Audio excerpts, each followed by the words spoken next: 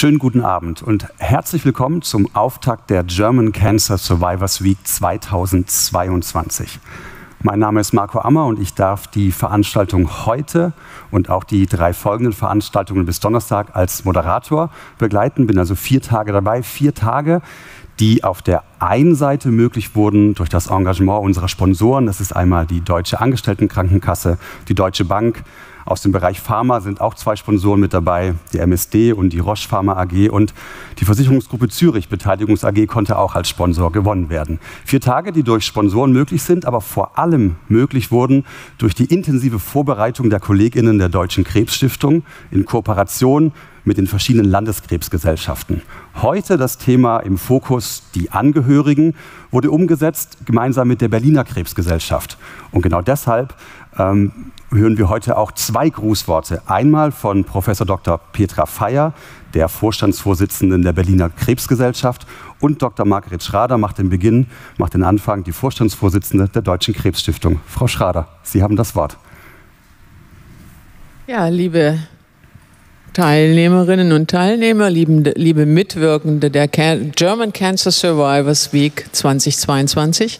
Ich freue mich sehr, Sie im Namen der Deutschen Krebsstiftung zur Auftaktveranstaltung hier begrüßen zu dürfen. Als die Deutsche Krebsstiftung sich vor Jahren ähm, hingewandt hat, mit ihrem Blick hingewandt hat zu den Herausforderungen, denen sich Menschen mit und äh, nach einer Krebserkrankung gegenüber äh, sehen, da war uns bewusst, das ist eine Gruppe, die wird wachsen. Und es war uns auch bewusst, ähm, es wird auch der Unterstützungsbedarf wachsen, der noch nicht so gut erforscht ist und der auch nicht in genügendem Maße bisher im Gesundheitswesen etabliert ist.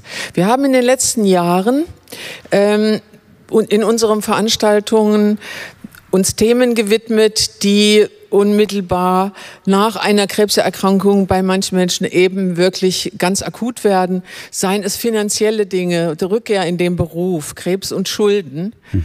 ähm, und haben versucht, wirklich da die Bedürfnisse der Betroffenen in die Öffentlichkeit auch zu tragen mit diesen Veranstaltungen. Die German Cancer Survivor Week 2022 steht unter dem Motto Niemand ist alleine krank. Hm. Und da liegt es natürlich nahe, auch den Blick drauf zu äh, äh, werfen auf die Angehörigen, auf die Menschen, die mit Krebserkrankten leben. Und da gibt es äh, viele Dinge, die, die wichtig oder die neu sind und die man, die man ähm, meistern muss, sei es in der Familie, die Rollenverteilung, sei es Familienplanung oder berufliche Veränderungen oder natürlich auch immer wieder Finanzen oder was äh, kommt auf Angehörige, unmittelbare Angehörige oder Freunde zu, wenn äh, pflegerische Dinge äh, kommen und, und äh, zu bewältigen sind. Also es ist wirklich niemand, der Krebs hat und alleine krank. Es betrifft immer auch das soziale Umfeld. Das ist ähm, unser Anliegen in den Veranstaltungen diese Woche, das äh, zu thematisieren in verschiedenen Veranstaltungen.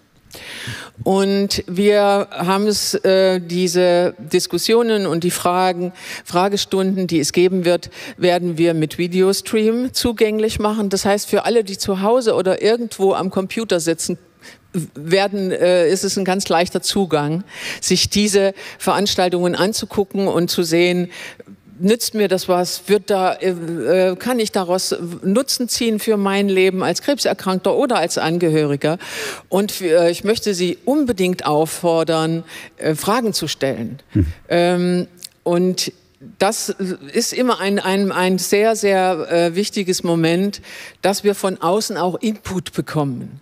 Ja, die Fragen, die bei diesen Veranstaltungen, Online-Veranstaltungen gestellt werden, die gehen natürlich nicht verloren. Das sind Dinge, die dann bewegt werden, vielleicht im nächsten Jahr noch äh, oder bei anderen Dingen, wo wir wissen, das ist etwas, was die Menschen ganz dringend bewegt. Wir haben in diesem Jahr äh, zum ersten Mal wieder eine Mischung aus Online- und Präsenzveranstaltungen. Bei Covid ging das ja nicht. Diesmal haben wir äh, Präsenzveranstaltungen dabei, also eine Mischung aus videogestreamten und äh, Präsenz. Ähm, da möchte ich ganz besonders hinweisen auf die Diskussion im World Café, die stattfindet äh, zeitgleich mit, mit der Podiumsdiskussion Selbsthilfe, Patienten, Angehörige. Und ähm, das, damit Sie zu Hause, die Sie das anschauen am PC, das nicht verpassen, werden wir das auch zusammenfassen, mhm. damit auch ja nichts verloren geht. Äh, worüber ich mich besonders freue, ist, dass äh, die Landeskrebsgesellschaften das Programm der Cancer Survivors Week mitgestaltet haben und werden. Das sind ja die, es sind fünf Landeskrebsgesellschaften, die dabei sind. Die Berliner sind schon erwähnt. Ähm, das sind ja die Spezialisten und die auf Beratungen von, psychosoziale Beratungen von Angehörigen und, und Patienten in erster Linie natürlich spezialisiert sind. Also die verstehen ihr Handwerk in den Ländern und helfen da und bringen ihre ähm, Erfahrungen natürlich auch in diese Woche mit ein. Hm. Und äh, das freut uns sehr, dass wir da eine, eine enge ähm, ähm Verbindung geknüpft haben, die sich jetzt auch schon im zweiten Jahr bewährt. Jetzt will ich es aber bei diesem Vorwort belassen. Ich will nur sagen, es werden in dieser Woche ähm, spannende Veranstaltungen ähm, sein. Die Aufforderung, immer fragen, immer äh, sich einschalten äh, bei den, bei den äh, ähm, Experten. Ähm, äh, Gesprächen, die, die äh, kommen werden. Fragen sich einbringen, Input ist da ganz wichtig, denn wir lernen da auch etwas daraus. Jetzt kann ich nur sagen, allen Mitwirkenden an diesem Programm ähm, danke ich recht herzlich und wünsche gutes Gelingen. Allen Teilnehmerinnen und Teilnehmern spannende Veranstaltungen, Veranstaltungen, aus denen sie wirklich persönlichen Nutzen ziehen können. Insofern gutes Gelingen für die Cancer Survivors Week. Frau Dr. Schrader, vielen Dank für diese Einleitung, wo Sie auch nochmal erklärt haben, ähm, warum wir dieses Motto gewählt haben. Niemand ist alleine krank. Und die vielen Hinweise schon auf die vielen Angebote, die in der Woche folgen und auch schon auf das um 19.10 Uhr stattfindende ExpertInnengespräch. Da haben wir zwei verschiedene Themen. Da werde ich Sie aber auch nachher nicht nur darauf hinweisen, wann es genau losgeht, sondern auch, wie Sie da wirklich hinkommen. Für alles andere können Sie einfach in diesem Stream bleiben, zum Beispiel für das zweite Grußwort von Frau Professorin Feier von der Berliner Krebsgesellschaft. Ja, ähm, herzlichen Dank, Frau Dr. Schrader, für die einführenden Worte und auch schon den Überblick, den Sie gegeben haben. Natürlich auch ganz herzlichen Dank an die Deutsche Krebsstiftung für die Initiative, die ähm, German Cancer Survivors Week ähm, zu organisieren und ins Leben zu rufen. Eine ganz tolle Initiative. Wir haben gehört, es ist schon das zweite Mal, äh, dass die Cancer Survivors Week äh, läuft. Öschgeldiniz, Sie werden sich wundern, was das ist. Das ist die Begrüßung auf Türkisch und wir sind hier in Berlin. Sie haben vielleicht gehört, dass Kreuzberg Klein Istanbul ist und äh, deswegen auch äh, meine Begrüßung auf Türkisch. Sie wissen, dass äh, Krebs keine Sprachbarrieren kennt, keine Ländergrenzen kennt und ähm, Cancer Survivor in vielen Sprachen äh, miteinander kommunizieren und äh, Menschen, die eine Krebserkrankung überwunden haben und ihre Angehörigen sprechen halt viele Sprachen. Und äh, sie bringen unterschiedliche Erfahrungen mit. Und deswegen holen die Länderkrebsgesellschaften, auch hier wurde bereits äh, von Frau Dr. Schrader fokussiert, hier holen die Länderkrebsgesellschaften die Menschen dort ab, wo sie stehen. Und ähm, unter Berücksichtigung der kulturellen Besonderheiten und im Mittelpunkt der Arbeit der Landeskrebsgesellschaften, die ich als deren Sprecherin auch hier vertrete, steht der Mensch. Die Diagnose Krebs bedeutet für viele Menschen einen erheblichen Einschnitt in ihr Leben. Und ähm, es wird mit vielen Problemen äh, konfrontiert. Krankheitsbezogene Ängste spielen dabei eine besondere Rolle und aber auch Veränderungen in der Beziehung zu Angehörigen, zu Freunden, zu Partnern. Und ähm, hier ist es wichtig, dass äh, die zusätzlichen Belastungen, die für sowohl Patienten als auch Angehörige entstehen, durch psychosoziale Beratungen, die in den Länderkrebsgesellschaften stattfinden, ähm, fokussiert werden und auch bearbeitet werden. Ich blicke voller Spannung auf das Programm der German Cancer Survivors Week und ähm, hier wird beispielsweise die Krebsgesellschaft Nordrhein-Westfalen sich dem Thema mitwenden, wie gehen wir bei Krebserkrankungen miteinander um? Welche Sprache können wir finden, wenn wir eigentlich sprachlos sind? Die Thüringer Krebsgesellschaft rückt am Mittwoch die jungen Erwachsenen in den Mittelpunkt und in den Fokus. Und was sind die besonderen Herausforderungen? Ich möchte das nicht vorwegnehmen, aber hier gibt es natürlich auch ganz viele interessante Aspekte.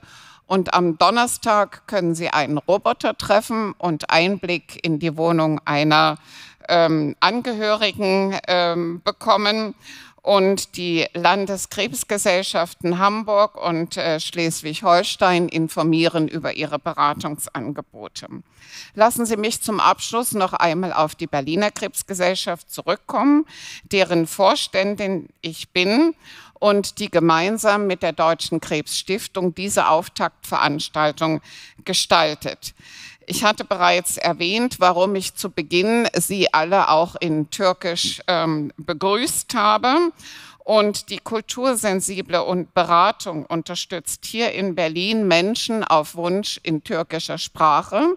Wir haben zwei spezielle Beratungsangebote in Türkisch und hier werden äh, Barrieren überbrückt, überbrückt, die unter Umständen durch kulturelle Besonderheiten ähm, bestehen.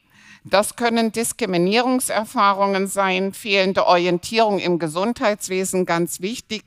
Sie werden vielleicht äh, schon wissen, dass es den sogenannten Onkolotsen gibt, der hier hilft, äh, eine entsprechende Orientierung zu finden. Und äh, in diesen speziellen kultursensiblen Beratungen wird das Verständnis ähm, für die kulturellen Unterschiede noch einmal ähm, bearbeitet und diskutiert mit den Betroffenen.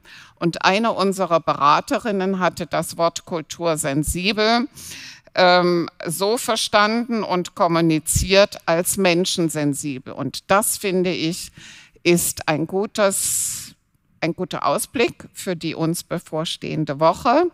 Menschensensibel, Beratung, den Menschen wertschätzend zu begegnen. Und das ist, äh, denke ich, das Anliegen aller Mitwirkenden der Cancer Survivors Week. Vielen Dank. Vielen Dank Ihnen, Frau Professor Feyer. Äh, Frau Dr. Schrader, vielen Dank, dass Sie die Grußworte hier ähm, gehalten haben und gleich schon den Ausblick auf die Woche uns alle neugierig gemacht haben auf das, was in dieser Woche passiert. Also auch vielen Dank dafür. Dann bleibt mir Ihnen ganz kurz abzureißen, was heute hier passiert. Ähm, Sie, Frau Dr. Schrader hat es vorhin schon gesagt, wir schicken einen Teil der Gruppe, die hier vor Ort ist, ähm, in sogenannte World Cafés, einen Workshop, der aber inhaltlich nicht ganz an Ihnen vorübergeht, weil wir Ihnen später auch die Ergebnisse dieses Workshops hier präsentieren werden, dieses Diskussionsformates. Ähm, wir werden eine Podiumsdiskussion haben mit drei pflegenden Angehörigen und wir starten mit zwei Fachvorträgen. Und der zweite Vortrag wird von Professor Dr. Frank Gieseler gehalten. Zuvor hören wir aber Professor Dr. Anja Mehner-Teuerkauf zum Thema psychologische Unterstützungsangebote für die Angehörigen von Menschen mit Krebs. Für Sie zu Hause ist das vom Bild kaum ein Unterschied und für alle, die hier im Raum sind, wir hören Frau Professorin Anja Mehner-Teuerkauf hinten auf unserer Leinwand. Und ich frage jetzt einfach mal, ob sie uns schon zugeschaltet ist. Guten Abend. Guten Abend. Ich ähm, höre Sie gut. Ich hoffe, Sie hören mich auch. Und ähm, vielen Dank für die freundliche Einführung. Ähm, liebe Frau Professor Feyer, liebe Frau Dr. Schrader, ähm, vielen Dank auch für die schöne Einführung in das Thema. Und ich würde hier gleich loslegen. Das Thema ist psychologische Unterstützungsangebote für Angehörige von Menschen mit Krebs. Und Sie haben es ja schon gehört, dass das ein Thema ist, was ähm, uns alle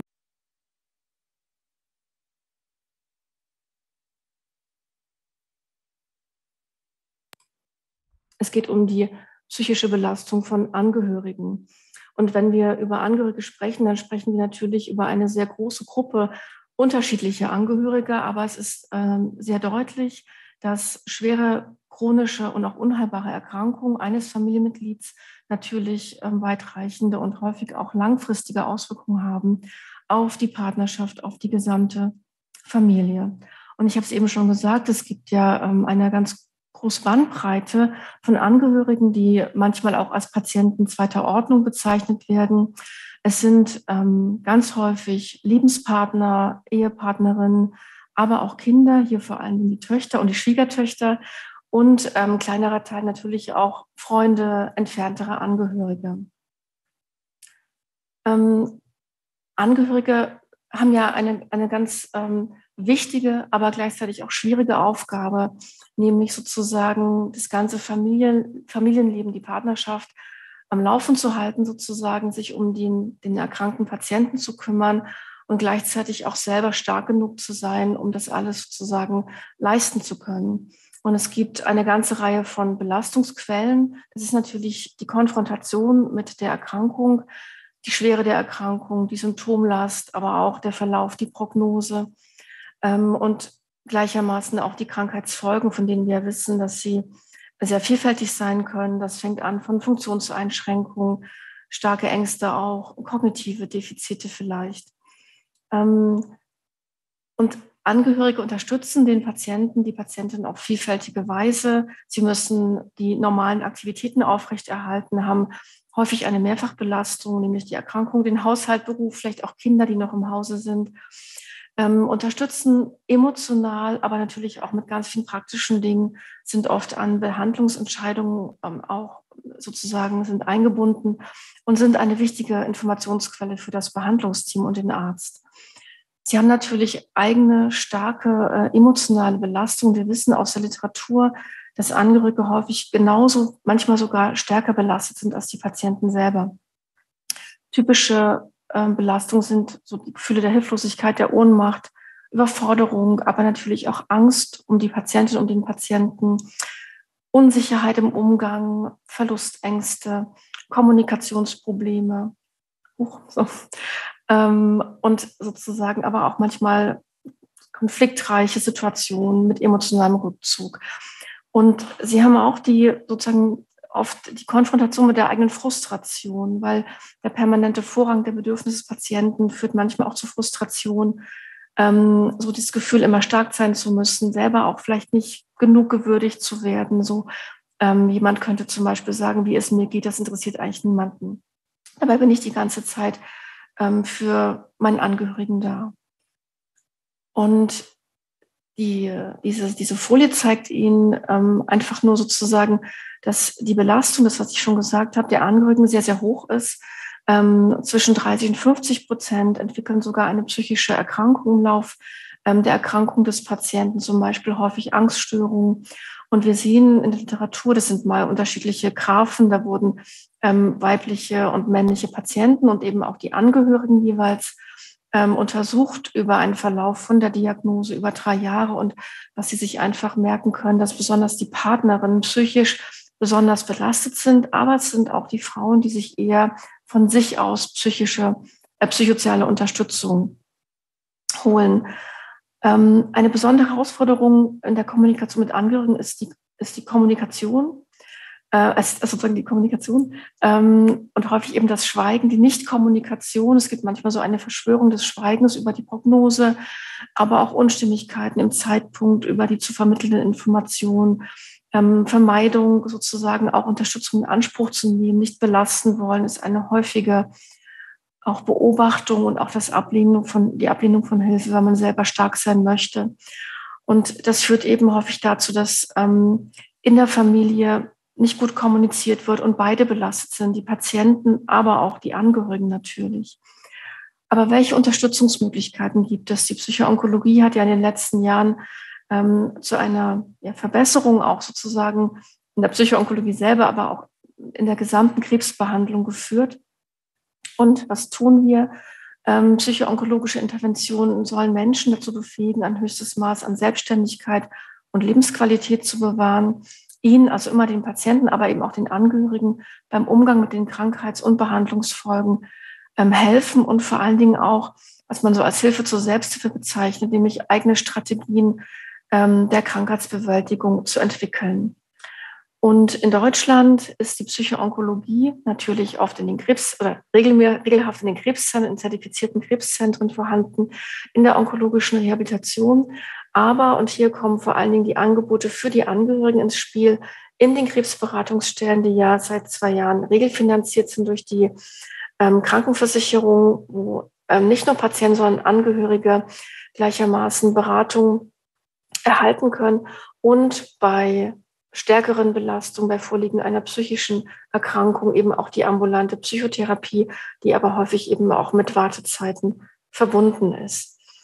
Ähm, was machen wir? Wir bieten Einzelpaare, Gruppenangebote an und unser, unser Behandlungsspektrum reicht eben von der Information, von der psychoonkologischen Beratung bis hin zur Psychotherapie hier supportiv ausgerichtet, das heißt unterstützen mit unterschiedlichen Interventionen. Und wir haben verschiedene Angebote hier, das habe ich eben schon gesagt.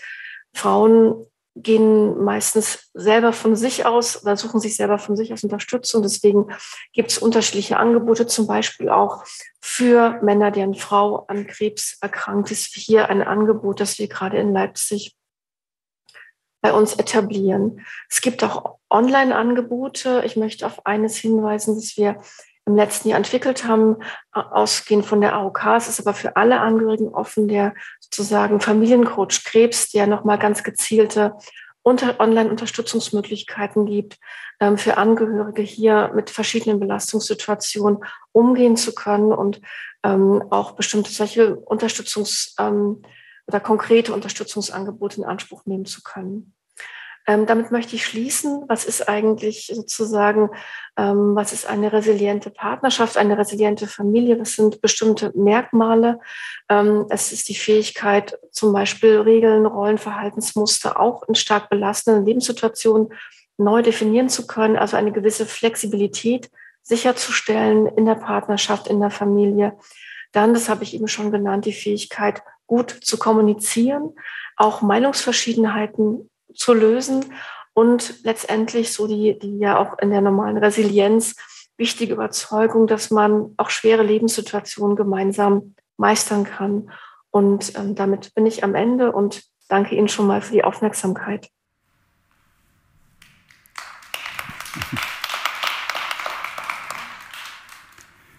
Das ist nach zwei Jahren Pandemie ungewohnt, dass da Menschen sitzen, die auch klatschen, aber danke dafür. Ähm, Frau Professor Minder-Teuerkauf, vielen Dank für diese Übersicht zu dem Thema und dass Sie auch gleich noch weiterführende Angebote, bei denen man sich informieren kann, mitgenannt haben. Vielen Dank dafür und dann übergebe ich direkt jetzt das Wort an Professor Dr. Frank Gieseler von der Uni Lübeck. Sein Vortrag ist zum Thema Angehörige, die dritte Kraft bei medizinischen Entscheidungen. Herr Professor Gieseler, können Sie mich schon hören? Ja, ich kann Sie hören. Können Sie mich auch hören? Wir können Sie hören und sehen. Vielen Dank. Sie haben das Wort. Freut mich. Also, das war ja ein interessanter Vortrag mit äh, der Einleitung, wie komplex die ganze Geschichte ist. Äh, das ist wirklich sehr vielschichtig. Und ähm, ich bin heute äh, jetzt hier in diesem Vortrag deutlich konkreter. Ich weise auf, eine, ähm, auf ein Projekt hin, das wir durchgeführt haben in Lübeck im Institut für Sozialmedizin unter der Leitung von Herrn Professor Katalinic haben wir ein, eine äh, sehr aktive Forschergruppe, die qualitative Forschung macht. Und daraus stelle ich Ihnen heute ein Projekt vor, ähm, das Thema Angehörige, die dritte Kraft von medizinischen Entscheidungen. Es geht um Entscheidungen, die man fällt. Ich bin äh, Professor Frank Gieser. Ich arbeite in Lübeck als Hämato-Onkologe an der Klinik für Hämatologie und Onkologie und bin der Leiter des Bereichs Palliativmedizin und Ethik in der Onkologie. Ich bin auch der Vorsitzende der Schleswig-Holsteinischen Krebsgesellschaft und äh, war an diesem Projekt maßgeblich mitbeteiligt. Kurz als Hintergrund, worum geht es? Ähm, es geht darum, dass sich die moderne Hämato-Onkologie geändert hat in den letzten zehn Jahren und nach wie vor rasant ändert. Wir haben viele neue Entwicklungen, äh, die wirklich alles betreffen, die die Therapie betreffen, der Umgang mit dem Patienten. Wir haben verbesserte Sterberaten, also wir haben immer mehr Menschen, die länger leben mit Krebserkrankungen, besonders evident wissen Sie sicher beim Mammakarzinom zum Beispiel, beim Brustkrebs, wo wir ja wirklich jahrelange Überleben, äh, Lebenszeiten haben. Wir haben immer mehr ältere Patienten, die Krebs, äh, an Krebs erkranken, weil sie eben vorher nicht an anderen Erkrankungen, wie zum Beispiel Herz-Kreislauf-Erkrankungen, sterben. Und wir haben durch die Therapien auch immer mehr Patientinnen und Patienten mit chronischen Verläufen. Das heißt, die leben mit ihrer Krebserkrankung lange Zeit. Das ist etwas Neues. So viele Patienten in dieser palliativen Krebsversorgung über Monate und Jahre haben wir in den letzten Jahren vorher nicht gehabt. Für diese Patienten können wir Therapien anbieten. Auch das konnten wir früher nicht. Ähm, ich habe ja schon ein paar Jahrzehnte auf dem Buckel in der onkologischen Therapie und ich kann sagen, das hat sich massiv geändert. Wir haben inzwischen Therapieangebote, sinnvolle Therapieangebote, jetzt sinnvoll meine ich im Sinne von klinischen Studien, Überlebenszeiten und Tumor ansprechen, die eben auch für ältere Patienten und für Patientinnen und Patienten mit Vortherapien äh, sinnvoll anzubieten sind. Die sind häufig oral als Tabletten, sind individuell dosierbar und haben ganz andere, aber häufig weniger Nebenwirkungen, obwohl wir eben auch Nebenwirkungen sehen, die wir vorher in dieser Form nicht hatten. Zum Beispiel Fatigue-Symptomatik hat sich doch deutlich in den Nebenwirkungen vermehrt oder Haut und Haare und ähnliche Nebenwirkungen, über die wir in Ruhe auch noch mal an anderer Stelle äh, sprechen können zusammenfassen, wir haben im Vergleich zur Vergangenheit viel mehr Krebspatientinnen und Krebspatienten mit chronischen Verläufen. Und diesen Patienten können wir zielgerichtete Therapien anbieten, die im Wesentlichen zur Verbesserung der Lebensqualität angeboten werden können. Und da gibt es eben eine Reihe von onkologischen Leitlinien, wo man das nachlesen kann. Hieraus, aus dieser Neuerung in der Hämato-Onkologie, ergibt sich, dass wir auch mit älteren Patientinnen und Patienten, auch mit Vortherapien, doch immer wieder Entscheidungen treffen müssen. Das heißt, soll man nun diese neuen Medikamente einsetzen oder nicht? Früher hat sich die Frage gar nicht gestellt. Da ging es rein um symptomatische Therapie. Heute ähm, stellt der Facharzt, die Fachärztin unseren Patientinnen die Frage, sollen wir denn die Therapie zum Beispiel eine gezielte Strahlentherapie oder eine orale Therapie noch durchführen. Und da gibt es eben verschiedene Stichworte, erwünschte, unerwünschte Wirkung, Überlebenszeit, Lebensqualität, das sind alles so Stichwörter, die bei der Entscheidung eine Rolle spielen. Die Frage ist, wie entscheidet sich denn ein solcher Patient in eine solche Patientin in so einer Lebenssituation? Und die Lebenssituation ist natürlich für jeden anders. Da spielt das Alter eine Rolle. Also nicht nur das, was auf dem Papier steht, auch das gefühlte Alter, die Lebenserfahrung, das Umfeld, die persönliche Situation. Wir haben inzwischen aktualisierte Leitlinien, die das berücksichtigen. Das heißt, auch gerade zum Beispiel beim Brustkrebs gibt es Leitlinien für ältere Patientinnen. Das ist bei nicht allen Krebserkrankungen so, aber da arbeiten die Fachleute ganz kräftig daran, dass sie das machen. Das heißt, es gibt Leitlinien für ältere Patienten, die durchaus äh, auf klinische Studien beruhen und äh, ganz wichtig sind. Also sinnvoll sind, meine ich. So, wie ist es denn mit der Adhärenz zu den Leitlinien? Und da haben wir in Schleswig-Holstein äh, mal unser Landeskrebsregister durchgeforscht und haben gefunden, dass die Adhärenz, also das Umsetzen der Leitlinien bei älteren Patientinnen schlecht ist. Das heißt, je älter die Patienten, Patientinnen sind, umso weniger wird auf das gehört, was der Facharzt, die Fachärztin ihnen empfiehlt. Und das hat ganz handfeste Konsequenzen. Das heißt, man kann ganz glasklar sehen, dass das Gesamtüberleben bei den älteren Patientinnen, die sich nicht an die Leitlinien vorgeschlagenen Therapien halten, äh, signifikant schlechter ist. Da gibt es eine Reihe von Studien. Ich habe hier mal ein paar zitiert. Wenn Sie noch mehr haben wollen, können Sie mir gerne eine E-Mail schicken. Da kann ich Ihnen gerne noch weitere Literatur geben. Das war der Grund für ein Forschungsprojekt, das wir bis äh, Anfang dieses Jahres durchgeführt haben, vom BMF gefördert, nennt sich Deliver Determinanten für leitlinienkongruente Versorgung von älteren Krebspatientinnen und Krebspatienten.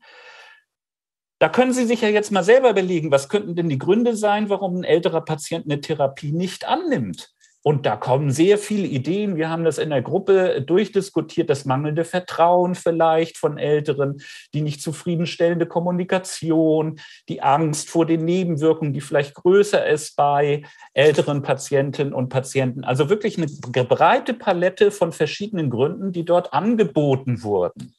Wir haben uns dann entschlossen, einen qualitativen Forschungsansatz zu wählen. Das heißt, wir wollen die, eine offene Fragebögen machen. Wir wollen nicht fragen, haben Sie Angst, haben Sie Vertrauen oder so, also diese Dinge, die wir vermuten, abfragen, sondern wir haben gesagt, wir machen ein Interview mit den Patienten, wo wir fragen, wie hat es denn ausgesehen, die Therapie? Haben Sie denn das befolgt oder nicht? Und dann so, dass die Patienten sozusagen von sich aus uns die Gründe offenlegen, warum sie eine Therapie äh, durchgeführt haben, eine empfohlene Therapie oder nicht. Und das war interessant. Wir haben wirklich interessante Ergebnisse gekriegt, die ich und viele unserer Kollegen in dieser Form nicht erwartet haben. Das möchte ich Ihnen mal hier zeigen. Kurz äh, zur Befragung. Wir haben also 61 Patienten äh, befragt mit unterschiedlichen Erkrankungen, wo man da rechts sieht und Abweichung von der vorgeschlagenen Therapie war bei 35 Prozent. Das ist ungefähr das, was auch in der Literatur zu finden ist. Also so ein Drittel der Patientinnen und Patienten in dem Alter über 70 Jahren, ähm, eher noch ein bisschen mehr, teilweise bis 40, 45 Prozent, nehmen die Therapie nicht an. Die haben wir also befragt mit vielen unterschiedlichen Erkrankungen, ältere und jüngere viele komplizierte Ergebnisse. Ich fasse das hier in einem Bild zusammen, was eigentlich natürlich überhaupt nicht geht. Ich kann Ihnen mal sagen, was wir nicht gefunden haben. Wir haben nicht gefunden, dass die Patientinnen gesagt haben, die Kommunikation mit den ärztlichen Kollegen war nicht in Ordnung. Die haben sich nicht genügend Zeit genommen. Die haben sich nicht darum bemüht, dass ich vielleicht nicht gut hören kann. Das stimmt nicht. Die Patienten waren durchweg zufrieden, haben gesagt, ja, mit mir ist ordentlich geredet worden, äh, ich habe das alles verstanden ähm, und äh, das ist auch ein toller Arzt, den kann ich auch empfehlen und so weiter. Es wurde vieles berücksichtigt, meine Fragen wurden beantwortet. Also das war nicht der Grund. Wir sehen hier auf der linken Seite verschiedene Gründe für die Akzeptanz, die wir dann auch publiziert haben. Können Sie gerne nachlesen, Doktor, why should I do this? Und rechts äh, Gründe für die Ablehnung. Insgesamt zusammengefasst spielt der Begriff Meaningfulness, Sinnhaftigkeit, eine wichtige Rolle. Sinnhaftigkeit heißt, die Patientin, der Patient überlegt sich, macht das für mich persönlich Sinn, das zu machen? Und das ist fast schon eine philosophische ähm, Qualität. Macht das Sinn? Und der Sinn ist für jeden persönlich anders definiert. Wir haben zwei Dinge, die, oder eigentlich vier Dinge, die wichtig sind. Oben links steht Cost-Benefit, das heißt einfach Nutzen, Nebenwirkungen, da fragen die den Arzt oder gucken im Internet, wie lange habe ich Überlebenszeit und so. Ähm, das ist das eine, spielt für manche eine Rolle. Dann der Doktor, wie hat der Doktor mit mir geredet, hat er alles dargelegt. Dann die äh, Future Expectations, was erwarte ich von der Zukunft und der Einfluss der Familie. Und zwei Gründe waren ganz besonders wichtig der Einfluss des Doktors. Wie hat er das Gespräch geführt? Wie ist er auf diese äh, philosophische Qualität, Sinnhaftigkeit eingegangen? Und unten links Einfluss der Familie. Heute fokussiere ich auf Einfluss der Familie. Das mit dem Doktor lasse ich mal weg. Halte ich Ihnen gerne nochmal einen Vortrag darüber zu einem anderen Zeitpunkt. Heute geht es um die Familie. Die Familie spielt eine wichtige Rolle. Ich sage hier mal Familie, eigentlich sind es sogenannte Caregiver auf Englisch. Caregiver ist ein bisschen ein anderer Begriff als Vertrauensperson. Das ist einer, der sozusagen von sich aus eine Fürsorge gibt, ein Caregiver. Auf Deutsch würde man sagen Vertrauensperson ja, passt nicht so ganz, deswegen schreibe ich Caregiver, nicht weil ich kein äh, so ein Anglizismen gerne mag, sondern weil ich eigentlich kein richtiges deutsches Wort dafür gefunden habe. Sie werden gleich sehen, warum ich da, warum ich das meine. Wir haben hier speziell Interviews geführt mit 37 Patienten, Durchschnitt 73 Jahre, übrigens älter und jünger. Was heißt das? Ich habe gesagt, ältere Patienten sind häufiger nicht, folgen häufiger nicht der Therapie. Da war der Altersdurchschnitt der Median war 69. Älter heißt in diesem Fall über 69 oder unter 69. Das ist das, was statistisch signifikant unterschiedlich ist. Und dann haben wir ähm, Interviews mit 43 Interviews mit sogenannten Caregivern geführt, also Leute, die sich drum kümmern, um ihre anderen, um ihre Freunde, Familie, sonst etwas. Da haben wir herausgefunden, das ist, was wir eben schon gesehen haben an internationalen ähm, äh, äh, Studien, genau das Gleiche. Das meiste sind Spouses, das heißt also äh, Partner, Lebenspartner, müssen nicht Ehepartner sein, Lebenspartner und spielt übrigens keine Rolle, ob es Männer, Frauen, gemischt, sonst was ist. Das ist völlig egal. Das äh, spielt überhaupt keine Rolle. Dann häufig Töchter, häufiger als Söhne, deutlich häufiger, die Caregiver sind. Dann gibt es äh, Close Friends, Brüder und äh, Schwestern ähm, und so weiter. Also es sind äh, im Wesentlichen aber Familienmitglieder. Familienmitglieder, die hier sich kümmern um ihr ähm, Familienmitglied. Und interessant ist schon mal das erste Ergebnis dieses hier. Äh, ungefähr 76 Prozent unserer Patientinnen haben angegeben, dass sie Caregiver haben, aber bei dem Arzt-Patientengespräch waren nur 38 Prozent, bei 38 Prozent die Caregiver dabei.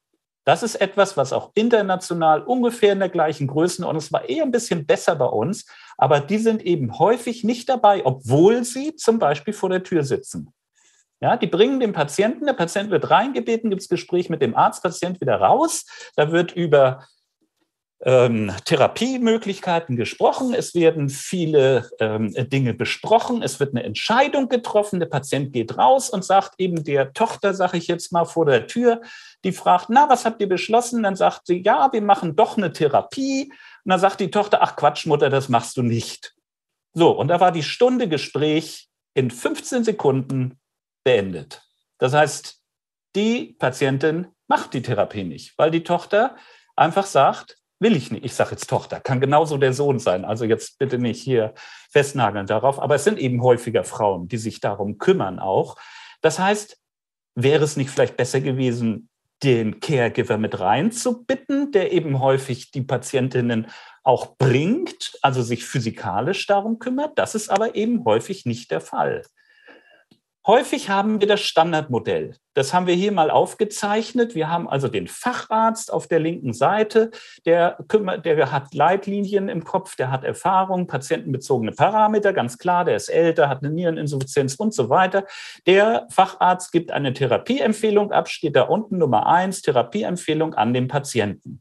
Der Patient äh, trifft dann eine Therapieentscheidung, entweder selber oder im besten Fall teilt er die Entscheidung dem Facharzt mit und beide gemeinsam, jetzt der gepunktete Pfeil oben auf die drei, treffen eine Therapieentscheidung. Wäre es nicht besser, ein erweitertes Modell zu machen? Das ist nämlich wirklich selten der Fall. Erweitert heißt also, die Vertrauensperson mit einzubeziehen, die dem Patienten, der Patientin hilft, indem sie die Lebensgeschichte mit einbezieht, so ungefähr, ja Mutter, du hast ja noch nie was gut vertragen und warum willst du jetzt die Chemotherapie haben und weitere Informationsquellen mit einbezieht und eventuell eine Dreiergruppe von Facharzt, Patient und Vertrauensperson bildet. Ist eine gute Idee. Aber, jetzt kommt das Aber. Wir haben festgestellt, dass die Vertrauenspersonen sich unterscheiden. Wir haben also den Patienten, der eine Therapieentscheidung trifft. Wir haben den Facharzt, der ähm, Vertrauen, Werte, Aufklärung, Informationen bietet. Und wir haben, und das ist das Besondere, was in der Studie rauskam, zwei verschiedene Gruppen von Vertrauenspersonen sogenannte passive Caregiver und aktive Caregiver. Der passive Caregiver ist meinetwegen die nette Nachbarin. Die passt auf die Katze auf, die bringt äh, die Patientin zum Arzt, holt sie auch wieder ab, mischt sich aber nicht in die Therapieentscheidung ein. Auch das gibt es bei Kindern, bei Enkeln, die das machen, bei äh, Partnern, äh, die sich im Prinzip sagen, du kannst mich fragen, was du willst, aber wenn du keine Therapie willst, dann rede ich dir nicht rein. Oder wenn du mit dem Arzt das beschlossen hast, dann unterstütze ich dich in deinem Entschluss. Das ist ein passiver Caregiver. Der unterstützt auch ähm, oder bestätigt einen Entschluss, den aber der Patient im Wesentlichen selber trifft. Und dann gibt es sogenannte aktive Caregiver. Und das sind welche, da will ich fast sagen, die teilweise maligne waren. Das war also so, wenn wir die mit einbezogen haben. Ich kann mich gut erinnern an eine ältere Dame, die war ungefähr 88, ihre Tochter war Ende 50. Ähm, und wenn ich dann die Patientin gefragt habe, wie finden Sie denn das, dann hat die Tochter sofort gesagt, Mutter, das kann ich für dich beantworten. Du kannst das gar nicht vertragen. Brauch, da brauchen wir überhaupt nicht drüber zu reden. Das heißt also, das Gespräch, das Arzt-Patientengespräch hat eigentlich gar nicht mehr stattgefunden, weil der aktive Caregiver glaubt, eine Entscheidung für die Patientin besser zu treffen als sie selber. Das ist häufig eben eine Umkehr des Fürsorgeverhältnisses. Während früher Mutter sich ums Kind gekümmert hat, ist es dann im Alter umgekehrt. Das Kind kümmert sich um die Mutter und übernimmt eine Verantwortung für die Mutter. Das heißt, wir haben eigentlich letztendlich gar kein echtes Arzt-Patientengespräch mehr, wenn wir den Caregiver sozusagen reinbitten in so einem Fall, sondern dann ist es nur noch ein Arzt-Caregiver-Gespräch und der Caregiver kann es dann dem Patienten erklären. Ist es das, was wir wollen? Ich weiß es nicht. Wir sind also letztendlich mit dieser Studie hier jetzt mit diesen Ergebnissen. Und ähm, wir diskutieren natürlich ganz heftig bei uns und ich kann mir gut vorstellen, dass Sie sich gerne daran beteiligen. Wie geht man denn nun weiter? Ist es denn nun gut, Caregiver mit reinzubitten immer oder soll man sie lieber vor der Tür lassen? Ähm, und wenn man merkt, dass so einer sich einmischt und sozusagen gar nicht die Meinungsbildung des Patienten, der Patientin zulässt, ist es gut, äh, das zuzulassen und sagen, da kann ich ja nur auch nichts dafür, das sind ja jetzt die Familienverhältnisse. Oder möchten Sie als Arzt, als Ärztin oder eben als Patientin auch lieber das in Ruhe, sag ich mal, in längeren Gesprächen mit der Patientin, dass sie es auch versteht, ähm, Gespräche geführt werden, die letztendlich eine Entscheidung auf Patientenebene, also die Autonomie der Patienten besser ähm, erhalten. Ich ende mit meinem Vortrag mit einer offenen Frage. Das heißt, ich bin mir nicht ganz sicher. Ich weiß, dass Caregiver, Vertrauenspersonen in der Entscheidungsfindung eine erhebliche Rolle spielen. Aber wir brauchen ganz sicher noch mehr Forschung und wir brauchen vor allen Dingen eine geänderte Gesprächskultur. Da schließe ich mich komplett meiner Vorsprecherin an. Wir brauchen ein völlig neues Kommunikationsmodell in der heutigen Situation mit Informationsquellen überall, mit ähm, Bewertungen, mit äh, Meinungen von allen, die einprasseln auf die Patienten. Patientinnen.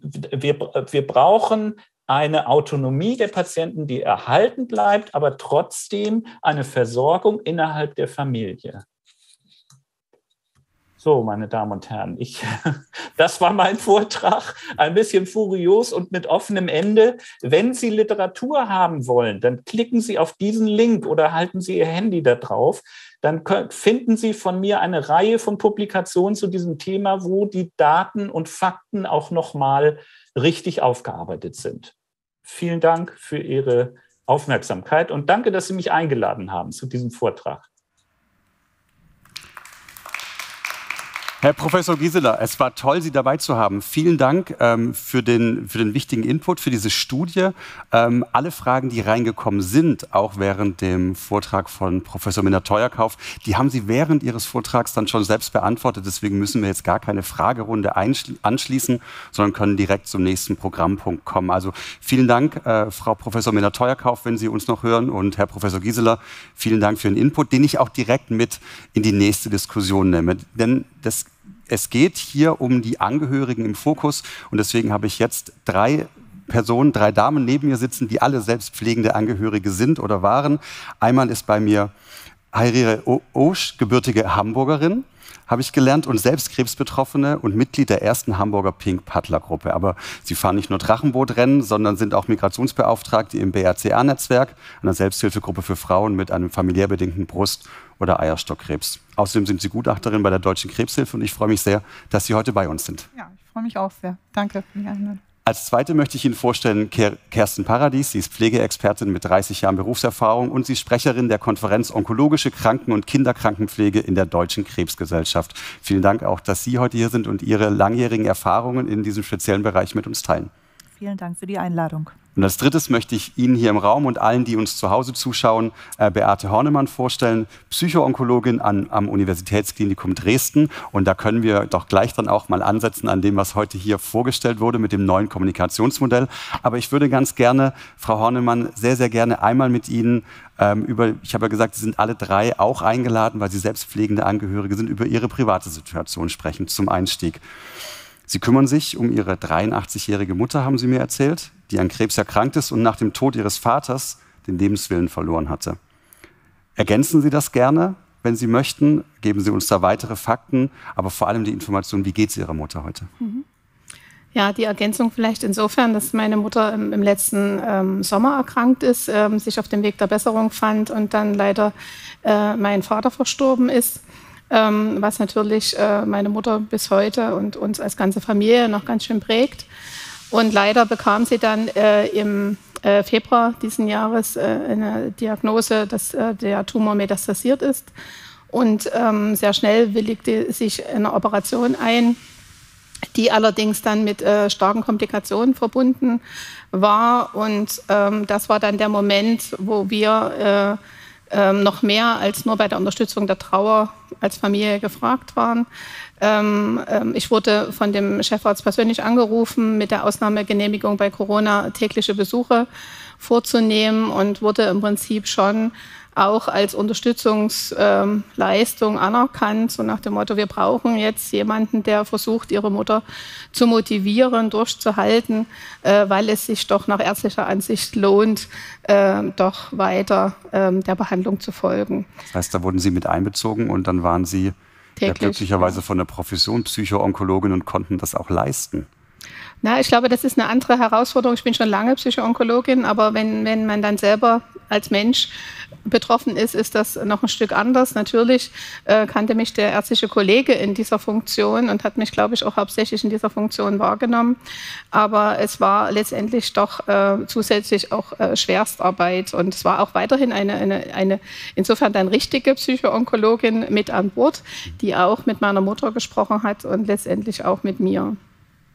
Wie hat sich denn Ihr Leben ähm, durch die Diagnose Ihrer Mutter verändert, Tagesablauf, als Sie dann festgestellt haben, auch da braucht es Unterstützung, Pflege von ja. Ihrer Seite? Ja, also das war ein, ein ziemlicher Einschnitt, ne, den ich letztendlich auch unter, ohne Unterstützung wiederum meiner Angehörige und meiner Freunde, glaube ich, nicht so geschafft hätte. Ne. Also ähm, einerseits diese Corona-Situation, die hieß, sie dürfen jeden Tag rein, aber sie müssen sich jeden Tag testen, bedeutete, dass ich in, mein, in der Klinik, in der ich eigentlich arbeite, gar nicht mehr präsent sein konnte, in Sorge, dass ich mir dort sozusagen Corona einfange.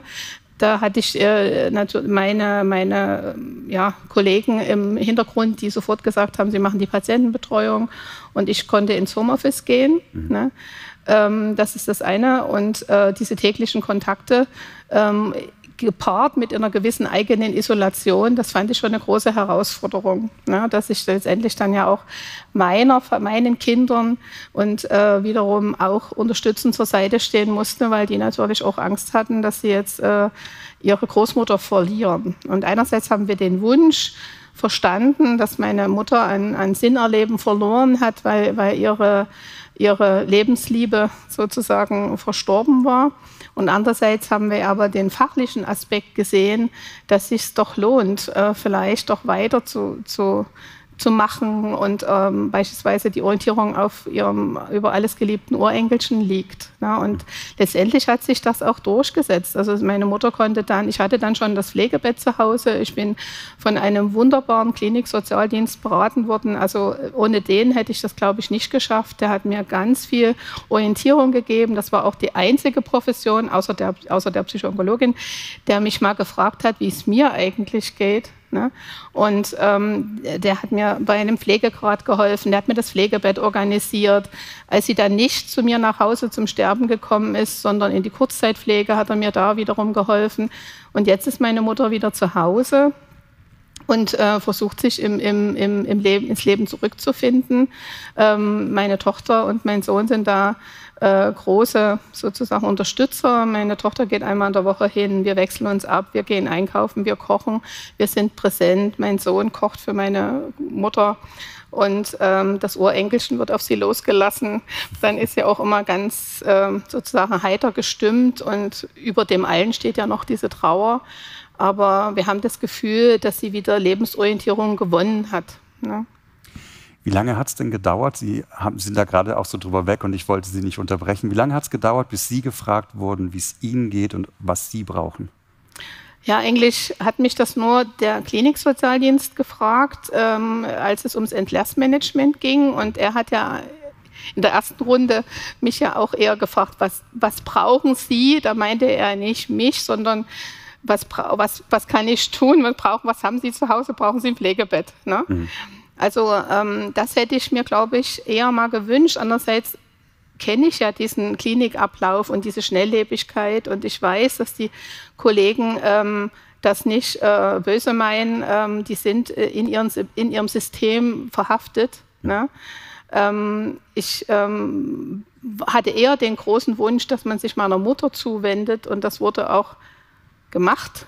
Ne? Also die haben da auch ihr Zeit gegeben, haben sie in ein Einzelzimmer gelegt und so. Also ich muss schon sagen, dass ich da sehr dankbar war. Die hätten gerne, gerne schneller agiert und schneller noch in August abgepumpt und sie dann zur Reha geschickt oder so. Ne?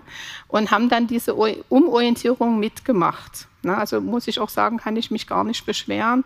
Aber ich kann nur allen Angehörigen sagen, sorgt auch für euch. Ne? Also so wie es Frau ähm, äh, Professor Anja Mehner-Teuerkauf gesagt hat, ähm, diese emotionale Belastung, ne? diese, der, der manchmal in die Richtung geht mit Rückzugstendenzen und so, ne? das, das habe ich auch alles durch. Ne? Und ähm, Angehörige brauchen auch Angehörige, ne? ähm, die, die sie damit durchtragen.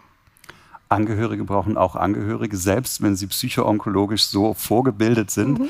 Da schließt sich meine nächste Frage an. Ähm, unterscheidet sich denn oder ihre, wenn Sie auf Ihre Beratungstätigkeit als Psychoonkologin blicken, deckt sich das mit den Erfahrungen, die Sie jetzt selbst als Angehörige gemacht haben?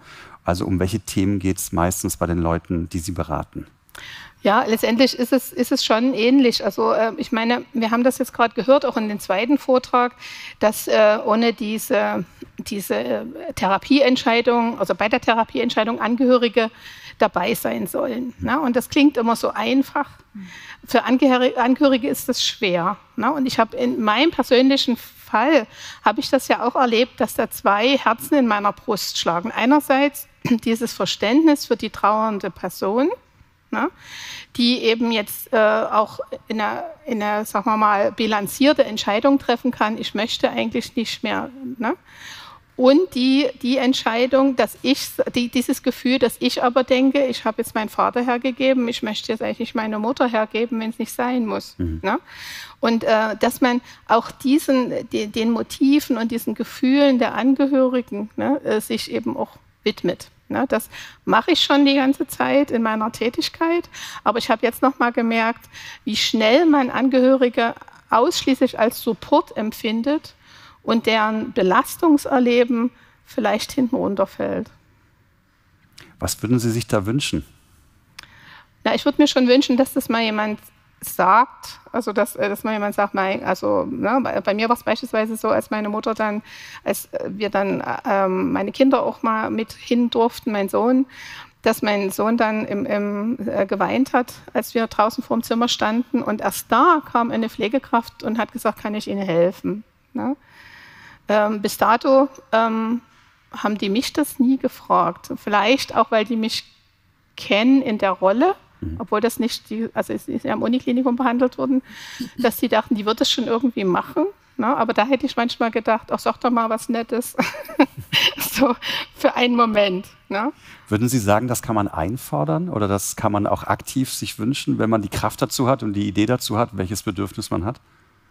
Ich weiß nicht, also ich habe es nicht in dem System dann dort von mir gegeben. Ich habe es dann eher eben in meinem Umfeld, ne, dass, ich, dass ich von dort dann gerne auch gehört habe, die äh, Leute, die gesagt haben, Mensch, Beate, das ist aber für dich jetzt auch ganz schön schwer, oder? Hm. Hm. weil ich gleich mit Frau Paradies auch über Pflege und spezialisierte Pflege sprechen werde. Von, von mir die Frage noch an Sie, was sind denn bei Ihnen jetzt die täglichen Herausforderungen in der Pflege Ihrer Mutter? Ja, momentan ist es ganz konkret, es ist jetzt am Freitag, da kommt der MDK zur Begutachtung. Ne? Ähm, da ist meine Mutter schon ganz aufgeregt. Das muss ich jetzt endlich mit ihr jetzt durchsprechen. Und ist Ihre Mutter eine von denen, die sagt, ich kann noch alles? Und weil ja, also meine Mutter ist sicherlich jemand, also der am liebsten vorher zum Friseur gehen würde und, Mhm. und, ne, und als die, Hausärztin, guten als, Eindruck die, machen möchte. als die Hausärztin zum Hausbesuch da war und dann weg war, hat meine Mutter zu mir gesagt, jetzt schaff mal den Rollator in den Keller. Ne, so, also die, ähm, sie, sie war immer gesund. Ja. Ne, und jetzt, dann kam auf einmal das, das fällt ja eben auch schwer, sich als ähm, kranke Person zu empfinden. Ähm, aber meine, momentan ist es so, dass sie eben auf dem Weg der Besserung ist. Da bin ich auch ganz glücklich drüber. Sie traut sich aber noch nicht alleine in die Öffentlichkeit. Äh, und deshalb sind unsere äh, Dienste letztendlich jetzt mit ihr spazieren zu gehen, ne? sie wieder so ein bisschen fürs Außen äh, zu motivieren. Ne? Und aus, damit sie aus ihrem, im wahrsten Sinne des Wortes, Schneckenhaus rauskommt. Danke bis hierhin. Wir sprechen gleich noch weiter. Ich gebe mal weiter zu Frau ähm, Paradies. Sie sind nicht nur Pflegeexpertin, als die ich Sie vorgestellt habe, sondern eben auch ähm, selbst indirekt betroffen. Ihr Vater hat gerade eine Krebsdiagnose bekommen. Jetzt beschäftigen Sie sich schon so viele Jahre mit dem Thema, arbeiten auch als Dozentin, geben Ihr Wissen weiter. Was ist Ihnen da durch den Kopf gegangen, dass es Sie jetzt persönlich betrifft? Also meine Mutter hat vor fünf Jahren äh, die Diagnose eines metastasierten Mammakarzinomen bekommen. Damit konnte ich gut umgehen, äh, weil ich aus der gynäkologischen Onkologie komme. Also da wusste ich ungefähr, was kommt auf uns zu, wie sind die Therapieoptionen und so weiter. Mein Vater hat vor zweieinhalb Wochen die Diagnose eines Blasenkarzinoms bekommen. Äh, da waren wir schon geschockt, weil ich auch sagen muss, meine Mutter ist 88, die ist noch fit, geistig, körperlich. Mein Vater 84, äh, da merkt man schon das gewisse Alter. Und da habe ich dann überlegt, wir sind 150 Kilometer entfernt, ich in Hamburg, meine Eltern in Mecklenburg-Vorpommern. Wie kriege ich das gewuppt? Äh, wie kriege ich das alles unter einen Hut? Und wenn ich äh, an den letzten äh, Referenten denke, muss ich sagen, ich bin eine einmischende Angehörige. Mhm. Das Wort mag ich überhaupt nicht, aber ich sage es hier nochmal. Ich habe Sie auch zucken sehen vorhin. Frau Oos übrigens auch, die hat da bestimmt auch noch was dazu zu sagen. Ja, weil mich das ein bisschen gestört hat. Äh, Wir sprechen hier in diesem Fall vom älteren Patienten und 69er, Pa- 69-jähriger Patient ist schon alt, aber es ist ja kein älterer Patient. Meine Eltern sind ältere Patienten und da bedarf es schon einer guten Unterstützung. Aber auf Ihre Frage zurückzukommen, natürlich bin ich eine professionelle Pflegende mit über 30 Jahren Berufserfahrung, 20 Jahre in der Onkologie tätig und nichtsdestotrotz bin ich auch in die Rolle gerutscht, ich bin Tochter. Und da sind die Empfindungen ganz anders. Und das auch, was Frau Hornemann gesagt hat, ähm, in, der Klinik habe ich jetzt gerade am Sonntag erlebt, als ich dann gefragt habe, wie geht's mit meinem Vater weiter, da wurde mir gesagt, wie Frau Paradies, Sie wissen doch, wie es läuft. Nein, das weiß ich eben nicht. Ich bin Tochter und ich bin keine äh, Pflegekraft in diesem Krankenhaus, in dem mein Vater lag. Also immer diese Voraussetzung, Angehörige, die jetzt in der Pflege arbeiten oder in der Psychoonkologie oder, oder, oder, die sind dann plötzlich emotional auf einer ganz anderen Stufe und die wollen auch als Angehörige behandelt werden und nicht auf einmal als professionelle Pflegende. Ziehen sie ihren Vater an, sie wissen, wie das zu machen ist. Und da habe ich gesagt, stopp, ich bin jetzt hier Tochter. Und um mehr geht es gar nicht. Aber wie gut, dass Sie sich da abgrenzen können. Das habe ich gelernt durch äh, über zehn Jahre äh, Fortbildung äh, für onkologische Pflegekräfte und medizinische Fachangestellte, wo wir sehr viel Kommunikation und Psychoonkologie in unseren Fortbildungen haben. Und da habe ich natürlich ganz viel abspeichern können. Das heißt, ist das auch ein Thema in Ihren Fortbildungen, dass Sie sagen, es gibt den, also dass Sie die Rollen klären? Bis dahin seid ihr äh, Pflegepersonal und ab da seid ihr privat und dürft auch Unbedingt. trauern? Unbedingt. Sonst wird uns der Beruf ja irgendwann krank machen. Das kann ja nicht sein.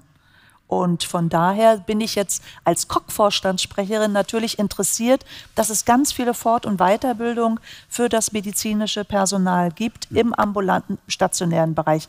Der große Vorteil in einem stationären Bereich, in einem Zentrum ist, dass Sie Sozialarbeiter vor Ort haben, die schon mal die ersten wichtigsten Sachen, die für die Pflege weiter wichtig sind, vor Ort besprechen. Aber wenn Sie sich mal die Liegedauern angucken, Mammakarzinom-Patienten, Mittwoch wird die Diagnose gestellt, andere Woche Montag werden sie operiert, die Woche drauf Mittwoch werden sie entlassen, Tumorkonferenz und dann ist die Diagnose. Und dann kommen die Patienten ja zu uns in die Pflege und, und sprechen mit uns, was kommt auf mich zu. Und die ärztlichen Kollegen sind ganz toll in der Aufklärung, aber in der sprachlichen Umsetzung, das, was der ärztliche Kollege gesagt hat, kommen sie dann wieder zu uns. Das heißt, um zu verstehen, was daraus folgt, was zu leisten ist. Ja. Und äh, was Sie gerade beschrieben haben bei dieser speziellen Krebsform, ist das ja auch sehr schnell. Wir reden da von mhm. einer Woche. Mhm. Okay, das heißt, man muss das, man ist gerade noch so beim Verarbeiten und Trauern, dass die Gesundheit ja. nicht mehr da ist in dieser Phase am Anfang. Und mein Vater, ich war beim Aufklärungsgespräch, habe ich gefragt, ob ich dabei sein darf. Der Kollege war sehr nett und hat gesagt, natürlich dürfen Sie dazukommen. Und ob Sie es glauben oder nicht, als wir rausgegangen sind, habe ich dann zu meinem Vater gesagt, und Vati, hast du alles verstanden? Und da hat er gesagt, viel nicht. Und ich war froh, dass du dabei warst. Und da habe ich so bei mir gedacht, ja, und das ist auch etwas, äh, was man auch als Angehöriger leisten kann, wenn man es sich zumutet. Mhm. Darum geht es ja von jüngeren PatientInnen höre ich ganz oft, die dann auch äh, Mobiltelefone bedienen können, dass sie dann so ein Gespräch auch mitzeichnen, ja. wenn das okay ist für den Arzt, um sich später in Ruhe nochmal anzuhören, wenn dieser erste Schock einfach vorbei ist. Genau. Ähm, bei dem Beispiel, das Sie gerade beschrieben haben mit dem Mammakarzinom, da kommt, kommt man ja sehr schnell in die, in die Position auch zu entscheiden, ähm, welche Dinge möchte ich übernehmen als Angehöriger, auch im Bereich der Pflege. Mhm. Also was würden Sie da Angehörigen raten? Wie schnell kann man überhaupt, sage ich mal, sein Leben ja teilweise auch umstellen, um dann in diese Rolle kommen zu können, um selber zu pflegen? Ah, ich weiß nicht, äh, wie lange jeder Einzelne dafür braucht. Äh, ich denke, das kommt auf die Situation drauf an. Wir fangen mal bei der Therapie, bei der Diagnose, bei der Therapiefindung an. Äh, nichts muss ganz schnell innerhalb von 24 Stunden entschieden werden. Also man sollte sich schon die Zeit lassen. Und natürlich sollen Patienten sich auch Rat einholen. Sie sollen das mit den Angehörigen besprechen. Aber ich hatte es im Vorfeld schon gesagt, äh, ich habe eine Handbewegung, die ich meinen Patientinnen und auch den Angehörigen immer mit auf den Weg gegeben habe. Ich trage ihre Entscheidung mit. Und die Entscheidung, die in dem Moment getroffen wird, Lassen Sie es mich anders sagen. In Hamburg haben wir von November bis Februar Schiedwetter. Da regnet es. Ich habe oft Patientinnen gehabt, die gesagt haben, also ich möchte die Therapie hier heute abbrechen, weil es draußen so grau und grau war. Und da habe ich gesagt, ja, Sie treffen die Entscheidung. Von diesen ganzen Patienten, die da waren, sind alle nächsten Tag, übernächsten Tag wiedergekommen und haben gesagt, sie machen weiter. Aber es war eine Situation, die sie dazu bewogen haben, mit der Therapie zu hadern. Warum, wieso, auch das hat mich gar nicht so interessiert. Für mich war wichtig, der Patient muss dahinter stehen, was er möchte und was er nicht möchte. Und die Angehörigen sollen begleiten. Und es gibt noch eine Handbewegung, die ich eigentlich immer gesagt habe. Pati Patienten, die in die Tagesklinik kommen, die von Angehörigen begleitet werden, da stand auf der Stirn des Angehörigen dick drauf, ich habe Angst, was kann ich tun, was für Möglichkeiten habe ich? Angehörige stehen ja oft daneben, die wollen ja was tun, wissen aber gar nicht, was sie tun können. Aber was können sie tun? Was können sie tun? Äh, sie sollen uns ansprechen. Äh, wo ist der Bedarf? Brauchen sie Gespräche? Auch Angehörige brauchen Gespräche. Äh, was für Hilfsmittel brauchen Sie? Brauchen Sie eine Haushaltspflege? Können wir Kontakt mit den Krankenkassen aufnehmen? Natürlich können jetzt meine Kollegen, die das hören, sagen, Mensch, Frau Paradis, was soll ich noch alles machen? Schluss. Wir haben die Zeit, wir haben die Möglichkeiten, uns diesen Patienten und Angehörigen zu widmen. Und manchmal bedarf es nur, dass man auch mal Angehörige in ein Zimmer genommen hat und mal gefragt hat, wo drückt der Schuh? Ich sehe es Ihnen doch an, irgendwas bewegt Sie. Und dann bricht das aus Ihnen heraus. Sie können einfach nicht mehr, weil die Last, die Sie tragen, zu groß ist. Was können wir tun? Haushaltshilfe.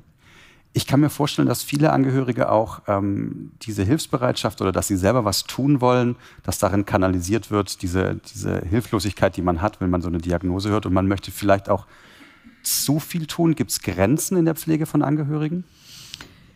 Äh, sowohl als auch. Es gibt Patienten, die, das, äh, die schon mit einem aufgeschlagenen Laptop kommen und sie haben auch Angehörige, die mit einem aufgeschlagenen Laptop kommen und sagen, das und das könnte ich alles und das und das und das. Äh, das überfordert natürlich auch. Äh, es muss alles in einem richtigen Maß, in einem richtigen Ich meinte es sogar noch anders. Also würden Sie sagen, es gibt Dinge, die kann man als Angehöriger in der Pflege gar nicht leisten, wenn, wenn ein Angehöriger an Krebs erkrankt ist und ich möchte unterstützen? Ja. Ähm, gibt es Sachen, wo Sie sagen, nee, das wirklich nicht? Was machen Sie mit einem Patienten, der durchmetastasiert ist und Knochenmetastasen hat, der bettlägerig ist, der gewaschen werden muss, der gelagert werden muss? Das kann ein Angehöriger gar nicht wissen. Dafür gibt es eine professionelle Ausbildung in der Krankenpflege. Ja. Und da kann man auch sagen, bis hierher und bitte nicht weiter. Da braucht man einen häuslichen Pflegedienst, der darauf spezialisiert ist. Und das sage ich auch immer. Oder wenn Sie ein ulcerierendes Mammakarzinom haben, was offen ist, es, es, es riecht unangenehm. Da sind Angehörige mit überfordert und das müssen sie auch nicht tun. Bloß was ich von Angehörigen mir wünschen würde, dass sie uns daraufhin ansprechen, dass wir gucken können, welche Möglichkeiten gibt es, mit wem können wir Kontakt aufnehmen, dass sie das nicht machen müssen. Es gibt andere Baustellen. Wenn der Verband drauf ist, Patient ist gut versorgt, dann mit ihnen zu kommunizieren, mit ihnen spazieren zu gehen oder, oder, oder. Aber alles andere sollte in der Hand bleiben, bei den Leuten, die es wirklich können. Jetzt haben Sie gerade Beispiele genannt, also offene Wunden zum Beispiel oder sehr starke Schmerzen durch Metastasen, Bettlägerigkeit. Mhm. ich kann mir gut vorstellen, dass gerade im engen körperlichen Kontakt mit Angehörigen es auch Tabuthemen gibt oder Themen, die auch zu besonderen, ja, sage ich mal, Herausforderungen führen. Können Sie da noch weitere Beispiele nennen? Also da ich aus der gynäkologischen Onkologie komme, Sexualität spielt eine ganz große Rolle. Mhm. Wer spricht über Sexualität? Das haben wir schon so oft in unseren Fortbildungen auch schon mal als Thema gehabt. Da spricht gar keiner drüber. Beide Seiten ähm, bewegt dieses Thema, aber keiner spricht wirklich darüber. Mhm. Ein anderes Thema, das Thema Ernährung. Ähm, ich durfte mal eine gewisse Zeit hämatologisch-onkologisch arbeiten mit ganz vielen männlichen Kollegen, Prostata-Karzinompatienten, Bronchialkarzinompatienten, die mir gesagt haben, das große Problem der Ernährung. Morgens fragt die Ehefrau, äh, was möchtest du heute Mittag essen? Ja, ich habe Appetit auf richtig schönen Fisch. Frau gibt sich Mühe, brät, tut, macht. Der erste Geruch kommt an, dann setzt sich der Mann an den Tisch und sagt, ich kann nicht essen und beginnt schon zu würgen. Frau fühlt sich, so haben sie es mir erzählt, äh, Frau Paradies, mein Mann liebt mich nicht mehr. Also ich tue, ich mache, ich. Das Verständnis äh, muss auch bei den Angehörigen da sein, zu verstehen, warum ist das gerade so? Warum hat er diese Geruchsempfindung, diese Geschmacksveränderung? Das hängt mit der Chemotherapie zusammen. Und auch hier habe ich immer einen Satz, äh, den ich den Angehörigen mit auf den Weg gegeben habe, meistens waren es ja die pa Ehepartner, die Lebenspartner, dass ich gesagt habe, ihre Frau wird sich während der Therapie in ihrem Wesen oftmals verändern. Das hat aber nichts mit Ihnen als Partner zu tun, sondern das ist die Therapie, das ist die Verarbeitung der Erkrankung. Wenn Sie sich vorstellen, Frauen verlieren auf einmal ihre Brust, das macht doch was. Und da müssen die selber erstmal mit sich klarkommen, ehe das der Angehörige versteht. Aber Angehörige müssen mit ins Boot geholt werden, dass sie es auch verstehen. Also ich habe vorhin gerade zu meiner Kollegin gesagt, wir haben noch sehr, sehr viel zu tun damit alle wirklich mit dieser Erkrankung einigermaßen gut umgehen können und uns keiner hinten runterfällt. Weder der Patient noch der Angehörige. Ich glaube, das ist so das, was ich mir wünschen würde. Das nehme ich als vorläufiges Schlusswort von Ihnen. Und, ja. Aber bevor ich zu Frau Us komme, habe ich eine Frage, die uns online gestellt wurde, die ich gern an Sie drei weitergeben möchte. Frau Hornemann, wie kann Abgrenzung gelingen, wenn man als Angehöriger so gefordert, teilweise überfordert ist, wenn Krebs in die Familie kommt? Das heißt, wir reden jetzt über die Pflege, wir reden über, was kann ich tun, aber wie kann ich mich auch abgrenzen?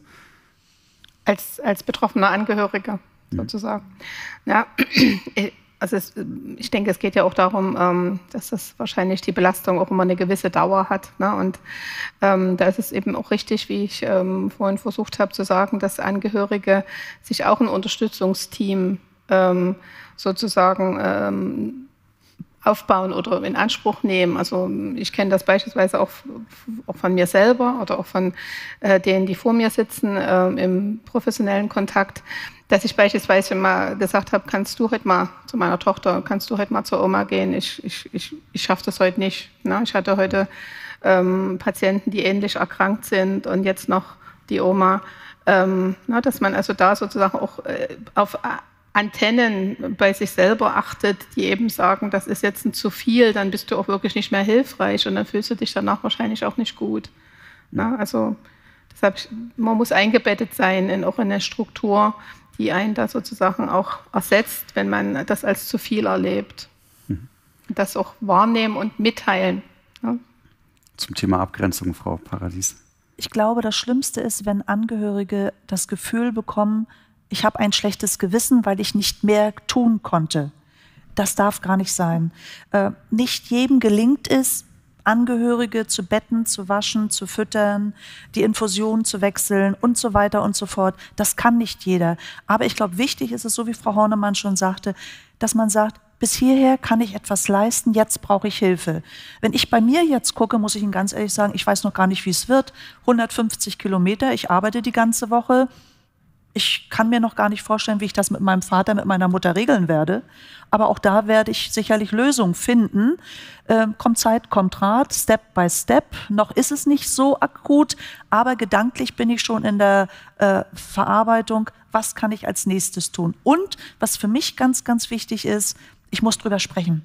Mhm. Ich muss über das, was mich emotional bewegt, das muss raus. Und wenn ich es ausgesprochen habe, dann geht es mir ein kleines bisschen besser. Und das würde ich auch den Angehörigen mit auf den Weg geben. Sprechen, sprechen, sprechen und fordern Sie es ein. Auch bei uns im niedergelassenen Bereich, wenn wir manchmal den Eindruck hinterlassen, dass wir wenig Zeit haben, so ist es nicht immer. Für solche Fälle nehmen wir uns die Zeit. Aber das müssen auch Angehörige lernen, dass sie diesen Anspruch haben, sich an uns zu wenden. Vielen Dank dafür. Frau Oos, haben Sie auch das Gefühl, wenn man sprechen möchte, findet man Leute, die einem auch helfen und einem als Gesprächspartner dienen? Auf alle Fälle. Also ähm, das ist ja auch eins meiner Hauptanliegen, äh, über das Thema Krebs zu sprechen. Ähm, es ist natürlich kein beliebtes Thema, es ist kein Mainstream-Thema, aber es ist, ich habe die Erfahrung gemacht, ähm, wenn ich drüber spreche, dann wird einem auch geholfen.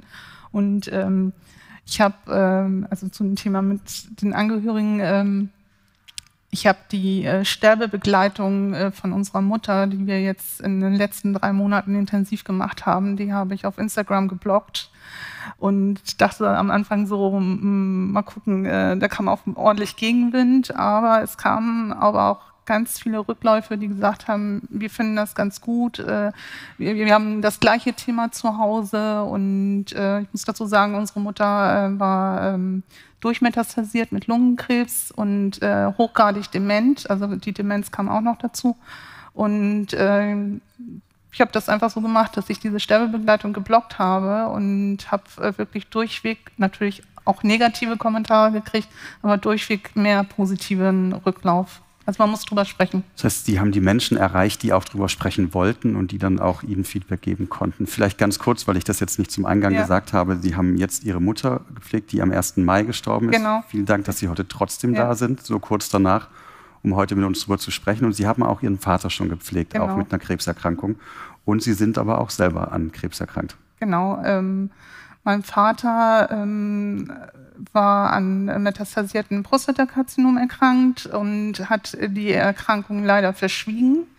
Erst als das Kind in den Brunnen gefallen war, hat er meine Schwester und mich darüber informiert und äh, dann ging halt der Pflegemarathon los. Ähm, ich habe dann damals durch die Mitpflege unseres Vaters ähm, meinen Job verloren, bin dann ähm, ja ähm, quasi ähm, dann also hat der Anwalt das alles geregelt gehabt und dann bin ich bewusst aber in die Arbeitslosigkeit gegangen äh, mhm. drei, für drei Monate, weil ich sagte so, okay, dann machst du das Jahr voll und dann startest du wieder durch.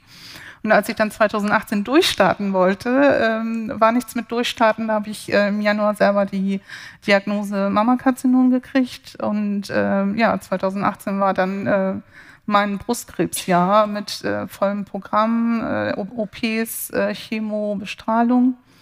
Ja, und äh, als ich das alles so ein bisschen äh, wieder äh, gesettelt hatte, ähm, kam dann die Diagnose von unserer Mutter, hochgradige Demenz und äh, kurz danach äh, das mit dem Lungenkrebs. Und äh, ich habe quasi äh, anderthalb Jahre nach meiner Erkrankung meine Mutter zu mir genommen, um sie zu pflegen.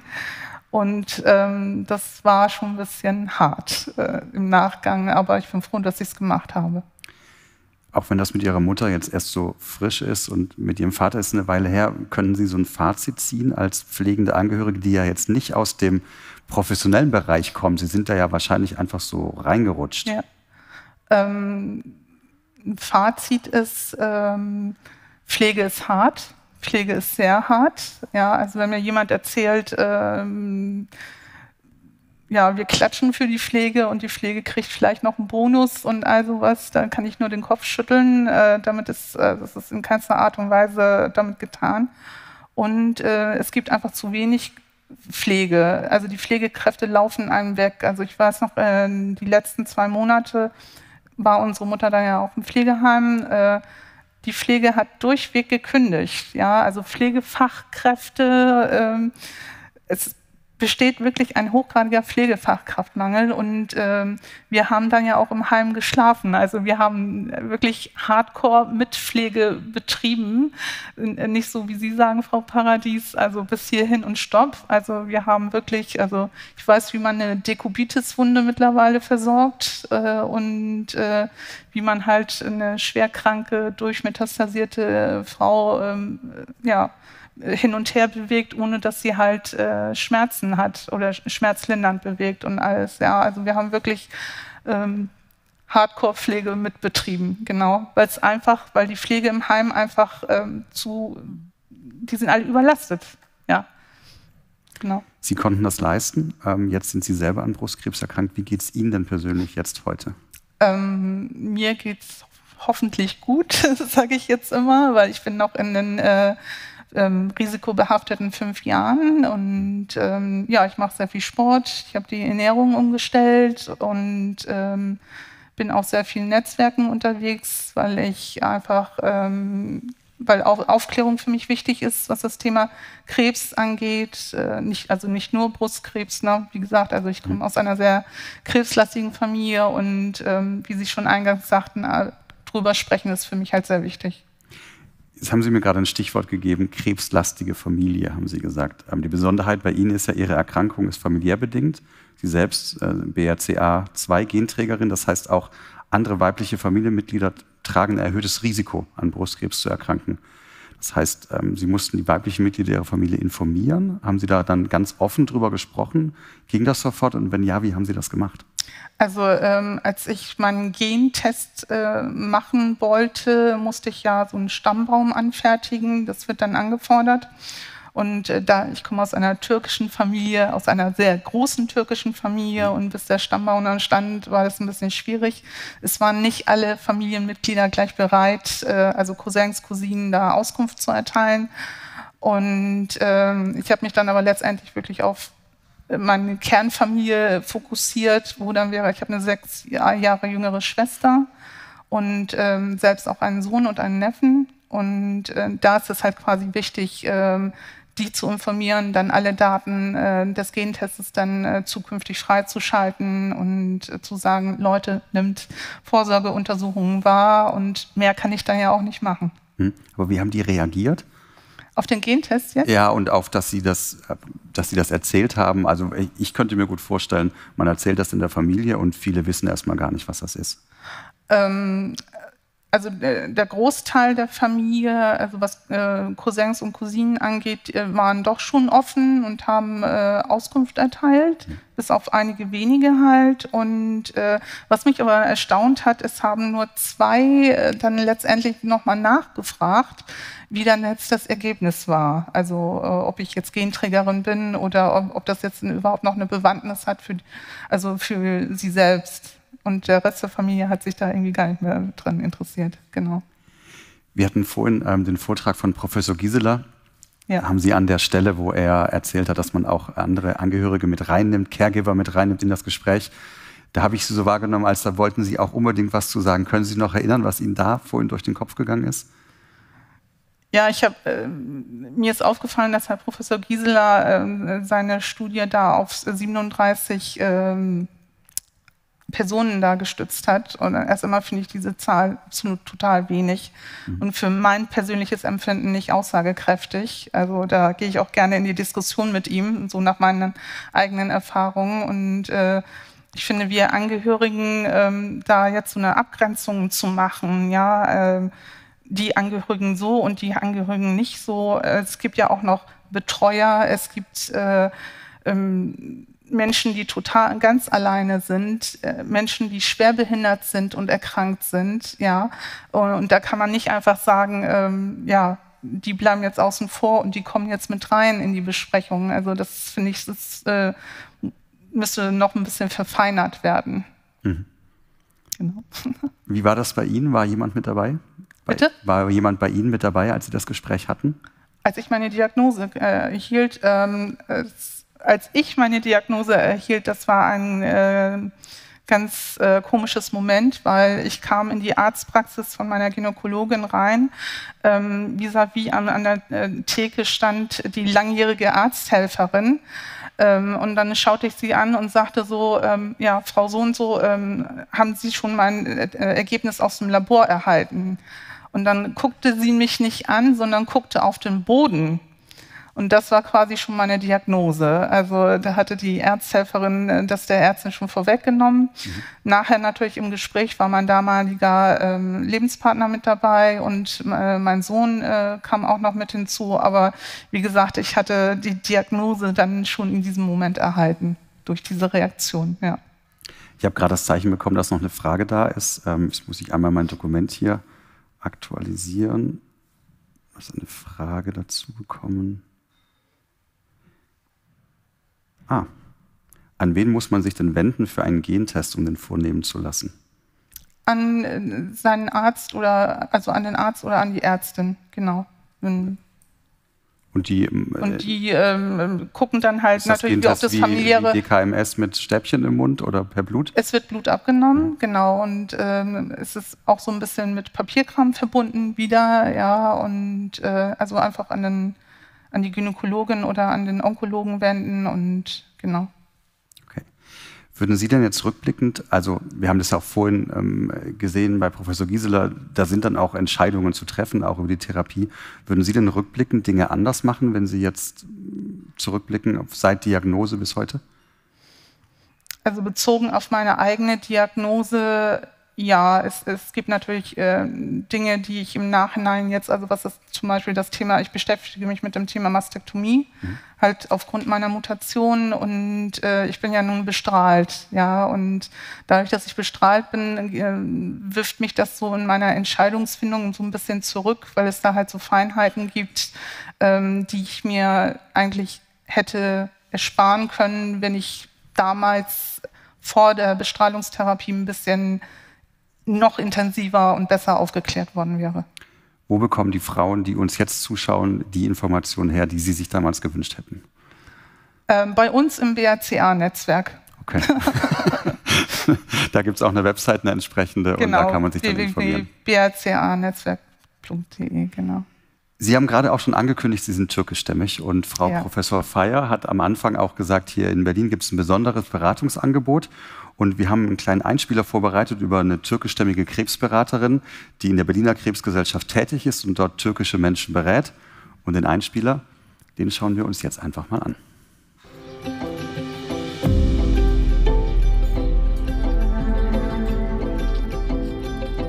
Ich bin die Perin Akçınar. Ich bin in der Türkei geboren, hier aufgewachsen und lebe seit einigen Jahren auch in Kreuzberg. Und vom Beruf aus bin ich Diplompädagogin, systemische Familien-Sozialtherapeutin und Hospizbegleiterin. Berlin-Kreuzberg ist ein recht bunter Ort, ein multikultureller Ort und da fühlen sich wirklich ganz viele Menschen auch recht wohl. Und wir haben hier in äh, Berlin-Kreuzberg eine Außenstelle eröffnet. Es ist eine kultursensible, psychosoziale, türkischsprachige Beratung für Menschen, die von Krebs betroffen sind und deren Angehörige. Die kultursensible Beratung basiert ja darauf, dass die Menschen mit ihrem kulturellen Hintergrund angenommen werden. Und auch wenn die Klienten die deutsche Sprache recht gut beherrschen, merkt man schon, dass sie auch auf das kulturelle Wert legen. Es sind die gleichen Geflogenheiten, es sind die gleichen äh, vertrauten äh, Methoden, mit der Situation umzugehen. Und da fühlen sich halt vertraut und gehen dann auch damit besser um. Ja, das Beratungsangebot zielt darauf ab, die Klienten da abzuholen, wo sie sind Sie kommen mit ihren aktuellen Situationen, aktuellen Problemen bei uns an. Das heißt, was ist im Wohnumfeld, was ist äh, in der Familie oder auch was die finanzielle äh, Situation angeht. Und darüber sprechen wir dann und äh, gucken, wie wir dann unterstützen können. Und öfters kriege ich mit, wie die Angehörigen dann auch ja, bedauern, dass Sie als Übersetzer bei den Ärzten mit dabei sind und dass Sie als Angehörige erst erfahren, dass die allerliebsten Menschen da an Krebs erkrankt sind und dass sie das übersetzen müssen. Und viele haben da wirklich Schwierigkeiten, wie bei meiner Klientin. Sie meint, ich habe es nicht über Herz gebracht, das zu übersetzen.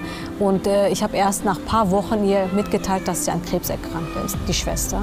Und das war für mich eine Situation, wo ich dachte, das geht gar nicht, dass die Angehörigen für die Patienten dann übersetzen müssen. Die Angehörigen sind ja die, die wirklich im System untergehen, die werden nicht gesehen. Sie sind die Leidtragenden, das sind die Menschen, die dafür sorgen, dass es dem Patienten sehr gut geht. Sie versuchen mit ihren gewohnten Methoden dem Patienten Unterstützung zu geben, indem sie zum Beispiel erstmal versuchen, mit einem Heiler äh, aus ihrer eigenen Umgebung klarzukommen, wo sie sagen, der kann dich unterstützen. Und das, da schauen wir äh, gemeinsam drüber und gucken, wie es im Gesundheitssystem in Deutschland aussieht, welche Wege sie sicher gehen können, damit der Patient äh, eine bessere ähm, Behandlungsmethode bekommt.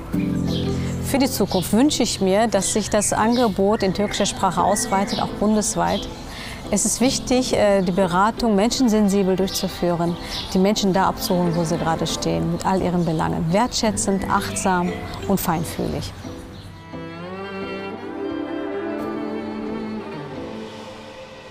Erin Akcina spricht von menschensensibler Beratung. Die hat erstmal nichts mit Kultur zu tun. Und trotzdem die Frage an Sie, ist aus Ihrer Sicht der Umgang mit Krebs in türkischen Familien, weil Sie ja auch einen türkischen Migrationshintergrund haben, ein anderer als in deutschen Familien? Hm, das glaube ich nicht. Ich denke, der Schock ist äh, kulturunabhängig, ja, weil dieses Demoklesschwert mit dem Begriff äh, Krebs, äh, das äh, ist ja wie so ein Schlag mit der Faust ins Gesicht und äh, das ist, dann ist es völlig egal, aus welcher Kultur Sie da kommen. Mhm. Ja. Frau Hannemann, wie wird das bei Ihnen in der Klinik geregelt, wenn Sie psychoonkologische Beratungen machen und dann vielleicht türkischstämmige oder auch Leute, die dann gar nicht die deutsche Sprache sprechen, vielleicht Arabisch sprechen, Englisch, mhm. ähm, jetzt in Zukunft vielleicht vermehrt auch Ukrainisch. Wie ja. gehen Sie damit um? Ja, also ähm, äh, türkisch sprechende Anliegen haben wir bis jetzt wenig in Dresden mhm. bekommen.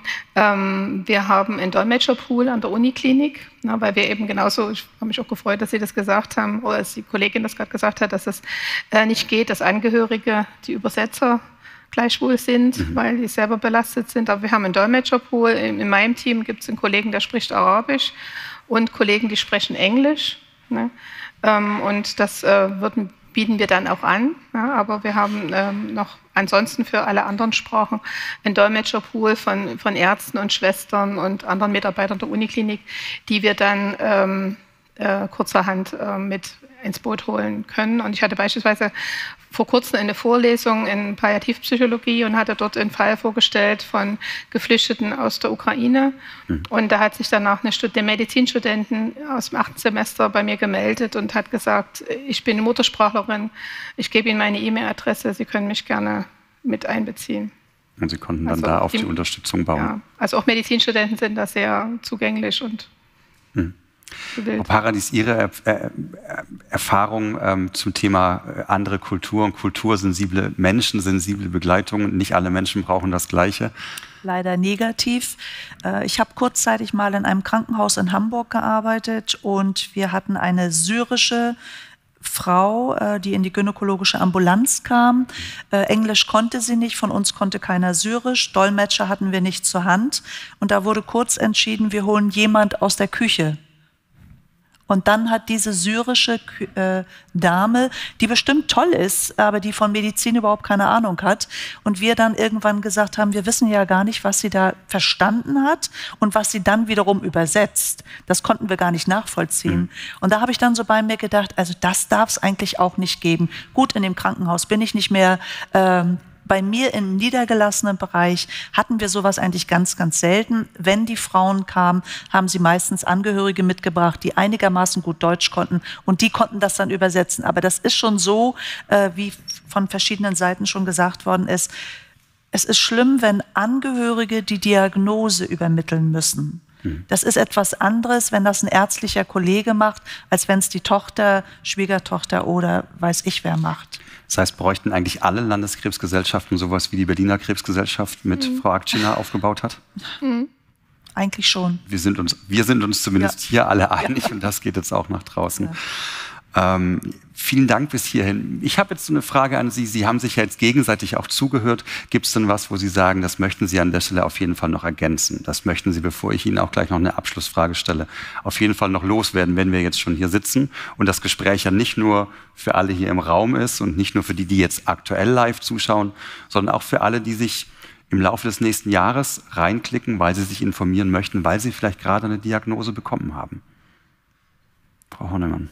Also wir uns dreien ist ja gerade gemeinsam, dass wir äh, unsere Eltern oder unsere Mutter gepflegt haben oder pflegen. Und ich denke, ähm, Angehörige äh, mit, die alleinerziehend sind, Angehörige mit kleinen Kindern, mit minderjährigen Kindern, Angehörige mit behinderten äh, Familienangehörigen, äh, die brauchen noch eine deutlichere Brücke als wir sie vielleicht bräuchten, weil wir sind in der Lage, uns äh, auszudrücken und uns Hilfe zu organisieren. Also Wer kann die Brücke schlagen? Würde mir, also wie Frau Mena-Törker vorhin gesagt hat, die Krebsberatungsstellen mit entsprechenden Unterstützungsangeboten, das überhaupt auch zur Anamnese gehört, beispielsweise in einem Krankenhaus den, den Patienten nach seinen Angehörigen zu fragen, beispielsweise zu identifizieren, ob da minderjährige Kinder dabei sind, um dann ein, ein konkretes Angebot zu machen, äh, brauchen brauchen sie Unterstützung in der Aufklärung ihrer Kinder. Ne? Also das kann auch der Kliniksozialdienst auch mit transportieren. Also das glaube ich, es ist eine zentrale Aufgabe auch mit äh, der Psychoonkologie bei der Kommunikation innerhalb dieses sozialen Netzes mitzuhelfen. Und da wünsche ich mir noch mehr Brücken, also weniger die Aufgabe beim Angehörigen, sich das zu suchen, sondern dass das im Prinzip niedrigschwellig angeboten wird. Mhm. Für, diese, für diese Risikogruppen, beispielsweise eben Alleinerziehende. Da haben Sie fast schon das, was ich als Abschlussfrage stellen wollte, gleich mit beantwortet. Wir können gerne beim bleiben, Frau Paradies, dass Sie vielleicht was ergänzen, was Sie heute von den anderen beiden gehört haben, was Sie auch auf jeden Fall noch sagen möchten. Also ich kann, ich spreche jetzt mal ähm, als onkologische Pflegeexpertin. Ich möchte Angehörige und Betroffene wirklich ermuntern, bitten, gehen Sie auf die Pflege zu, ob im stationären Bereich oder im ambulanten Bereich. Ich möchte nicht hören, dass Patienten als auch Angehörige sagen, wir haben uns nicht getraut zu fragen, weil die Schwester über den Flur gehuscht ist. Natürlich huschen wir über den Flur, aber es bedarf wirklich Gehen Sie auf Pflege zu, sprechen Sie eine medizinische Fachangestellte an. Ich habe dieses Problem. Welche Möglichkeiten kann ich bei Ihnen bekommen? Wo können Sie mich unterstützen? Manchmal sind wir auch in einem Tunnel drin, gucken nicht nach rechts und nicht nach links, ähm, dass wir das gar nicht mitkriegen. Aber wenn wir darauf angesprochen werden, und davon bin ich felsenfest überzeugt, gibt es keinen, der sagt, das interessiert mich nicht oder ich kümmere mich nicht darum. Auch wir in der Pflege haben ja unsere Netzwerke, ob es die Psychoonkologen sind, die Sozialarbeiter, äh, die Logopäden, die Ergotherapeuten, die Pflegedienste. Wir können ja was machen. Wir haben auch Kontakte zur Krankenkasse, auch wenn die uns nicht gerne am Telefon haben, sei mal dahingestellt, aber wir haben sie. Und da bedarf es wirklich, und das sage ich immer, die Pflege braucht leider haben wir zu wenig Pflegekräfte. Wir müssen wieder die Schultern nach hinten bringen und zu sagen, wer sind wir, was können wir und das sollten wir für unsere Patienten und für die Angehörigen auch nutzen. Dann macht der Job wieder mehr Spaß. Vielen Dank dafür, Frau Us. Wenn Sie sich erinnern, wie Sie im Krankenhaus mitgeholfen haben ähm, und das jetzt hören, äh, hätten Sie vielleicht an einer Stelle einfach noch mehr um Hilfe bitten müssen oder fragen müssen? Also ich glaube, äh, die verm äh, vermissen uns mittlerweile schon, meine Schwester und mich, weil die gesagt haben, irgendwie äh, gehörten wir da schon mit äh, zum Personal in der Zeit. Ähm, ja, was würde ich mir wünschen? Natürlich würde ich mir wünschen, dass der Pflegeschlüssel hochgesteckt wird. Ja, also eine Pflegefachkraft nachts für 40 äh, Personen, äh, Patienten ist einfach zu wenig. Ja, da brauchen wir nicht drüber reden. Und äh, ansonsten halt drüber sprechen und ähm, ja, mit der Pflege drüber sprechen, mit den Ärzten drüber sprechen und was auch eine gute Anlaufstelle ist, äh, die Pflegestützpunkte in den Städten äh, aufsuchen oder sich dort Hilfe holen, weil da haben wir persönlich ganz gute Erfahrungen gemacht. Weil die natürlich auch im Zweifel einfach wissen, was den PatientInnen und den Angehörigen zusteht als Unterstützung. Genau. Gibt es da irgendwas, wo Sie jetzt sagen, also ich frage, ich schaue Sie auch alle drei an, wo Sie sagen, das ist wirklich was, das sollten einfach wirklich alle wissen, dass das dass es diese Anlaufstelle gibt oder dass einem das zusteht? Gibt es irgendwas, wo Sie sagen, da stolpern Sie immer wieder drüber, dass es Angehörige oder PatientInnen nicht wissen? Fällt Ihnen dazu was ein? Ja, also ich glaube, dadurch, dass ich ja hauptsächlich mit Frauen gearbeitet habe, Frauen betreuen durfte, junge Frauen mit Kindern, dass ihnen äh, äh, eine, haushaltlich, eine Haushaltskraft zugestanden hätte für die Betreuung der Kinder mhm. oder am Tag die, Gro die Grobreinigung des Haushaltes gemacht hat. Und da haben sich viele Patientinnen gar nicht getraut, danach zu fragen. Sie haben es mal irgendwann gelesen, aber gefragt äh, haben sie danach gar nicht. Und mhm. da liegt es dann auch an uns zu sagen, haben Sie mal drüber nachgedacht, wenn wir das beantragen würden, dass Sie sich vielleicht eine Unterstützung holen. Oder eine AHB ist klar, die steht jedem onkologischen Patienten zu, aber nur mit einer Anschlussheilbehandlung ist es ja nicht getan. Danach gibt es ja auch noch Reha-Maßnahmen, äh, dass man dann Patienten sagt, trauen Sie sich das zu, wollen Sie nicht mal überlegen, wie ist das Fatigue, chronische Müdigkeit, das sehen Sie gar keinem Patienten auf den ersten Blick an. Das merken Sie erst im Gespräch. Und das sind so Sachen, wo man sagt, Mensch, ich merke in der Nachsorge, da haben Sie noch diese kleinen Baustellen, die Ihnen das Leben schwer machen, wäre es nichts für Sie. Mhm. Also ich finde, man, man darf das auch benutzen, dafür ist es ja da. Gut, dass Sie das ansprechen. Und wer dazu noch mehr Fragen hat, der ist äh, nachher herzlich eingeladen in dem zweiten Stream, den wir anbieten auf der Website von der Deutschen Krebsstiftung. Ähm, da sind Sie die Expertin in der Fragerunde zu Krebs und Pflege und man kann sie dort löchern. Das Gute an dem Angebot ist dann auch, dass es eben nicht online gestreamt wird. Man kann vielleicht noch ein bisschen detaillierter, ein bisschen persönlicher fragen. Das ist nichts, was wir dann öffentlich machen und hinterher auf die Website stellen, sondern das ist wirklich dann ein abgeschlossener Kreis von allen, die sich einwählen und dann Frau Paradies unter anderem ähm, Fragen stellen können. Ähm, Ihnen dreien bis hierhin Vielen, vielen Dank. Ich würde Ihnen noch einen Abschlusssatz jeweils geben, und zwar auch, wenn Sie das teilweise gerade schon mitbeantwortet haben, aber wenn Sie sich eine Verbesserung wünschen dürften, ich bin die gute Fee heute und ich, habe, ich bringe für jede von Ihnen einen Wunsch mit. Einen Wunsch an unser Gesundheitssystem haben wir viele, aber einen Wunsch an unser Gesundheitssystem im Hinblick auf die Angehörigen, um die es ja auch bei der heutigen Veranstaltung geht, um die Angehörigen von chronisch kranken Menschen. Wenn Sie es in einem Satz einer Forderung, einen Wunsch formulieren dürften. Was ist Ihr Wunsch für die Zukunft? Wo wollen wir hinwirken? Frau Paradies ist schon fertig, sie macht den ich Anfang. Ich habe meinen Satz schon formuliert. Wie so oft, mit Angehörigen sprechen, aber nicht über Angehörige sprechen. Vielen Dank. Frau Hornemann. Also ich würde mir auch wünschen, dass Sie explizit äh, zu den Arztgesprächen mit eingeladen werden und der Patient ja mit entscheiden kann, ob er das möchte eine aktive Einladung der Angehörigen mhm. und Einbindung des Patienten. Ja, dass nicht vergessen wird, dass wir Angehörigen auch Menschen sind und äh, in der Zeit auch nur funktionieren. Vielen Dank dafür. Frau Us, Frau Paradies, Frau Hornemann, vielen, vielen Dank, dass Sie heute hier waren. Und das ist der Moment, wo ich mich freue, dass wir Publikum hier haben. Vielen Dank, dass Sie da waren.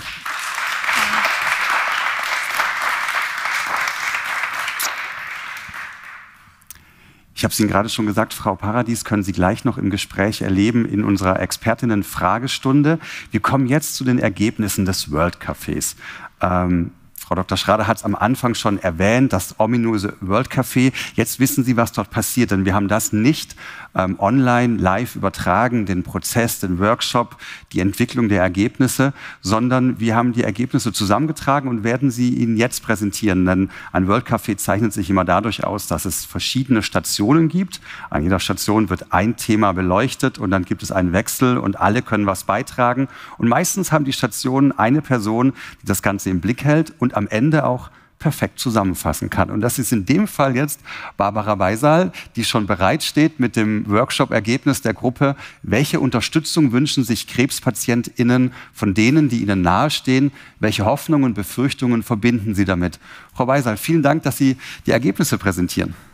Also perfekt, ich versuch's.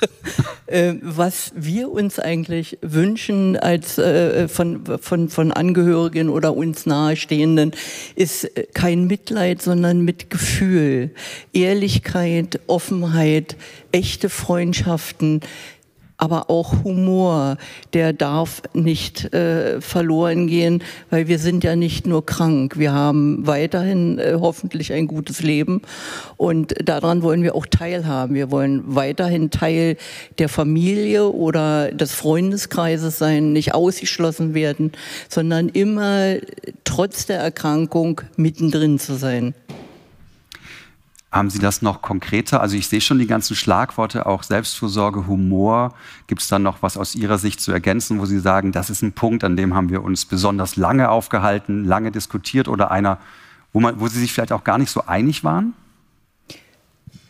Äh, eigentlich waren wir uns in allen Bereichen mehr oder weniger ein, einig. Äh, vieles wiederholt sich in, in anderen Worten, so dass man äh, vieles äh, in andere äh, Sachen nochmal, also keine Abwendung. Viele äh, Menschen wenden sich doch ab. Das passiert auch innerhalb der Familie, so dass also Partner oder Freunde dann äh, mit dem Erkrankten nicht mehr umgehen können und sich dann abwenden. Und da äh, ist für uns eigentlich wichtig, dass auch echte Freundschaft verträgt Ehrlichkeit. Also dann nicht einfach nur zu gehen, sondern wünschen wir uns dann eben, dass auch gesagt wird, es tut mir leid, aber ich kann mit dem Thema nicht umgehen. Äh, da äh, drüber zu sprechen, keine leeren Versprechungen zu machen, sondern wirklich ehrlich zu sein, Gefühle zuzulassen in beiden Richtungen, äh, so dass man also auch der der Betroffene und der Angehörige über ihre Ängste sprechen hm. und äh, nicht Stärke zeigen, wo sie eigentlich nicht vorhanden ist. Jetzt haben Sie als Gastgeberin ja nicht die Themen vorgegeben, sondern nur die Überschrift und dann haben die TeilnehmerInnen dann auch zusammengearbeitet. Gab es eine Karte, ein Ergebnis, was Sie auch überrascht hat, dass das rauskommt, dass das eine Hoffnung oder eine Befürchtung ist? Eigentlich nicht. Sie sind so also im Thema. Mich, ich habe mich in, in, in fast allen äh, Themenpunkten wiedererkannt mhm. und äh, habe natürlich ein paar Sachen nochmal hinterfragt, um für mich äh, das Verständnis zu kriegen, meinen wir wirklich das Gleiche. Mhm. Und das war auch so, so dass wir äh, eigentlich äh, Spaß und Normalität ermöglichen, mhm. trotz solch schwieriger Erkrankung. Spaß und Normalität trotz solch schwieriger Erkrankungen. Das ist doch ein schöner Schlusssatz und vielleicht eine schöne Zusammenfassung. Frau Weisal, vielen, vielen Dank, dass Sie uns das hier präsentiert haben. Vielen Dank.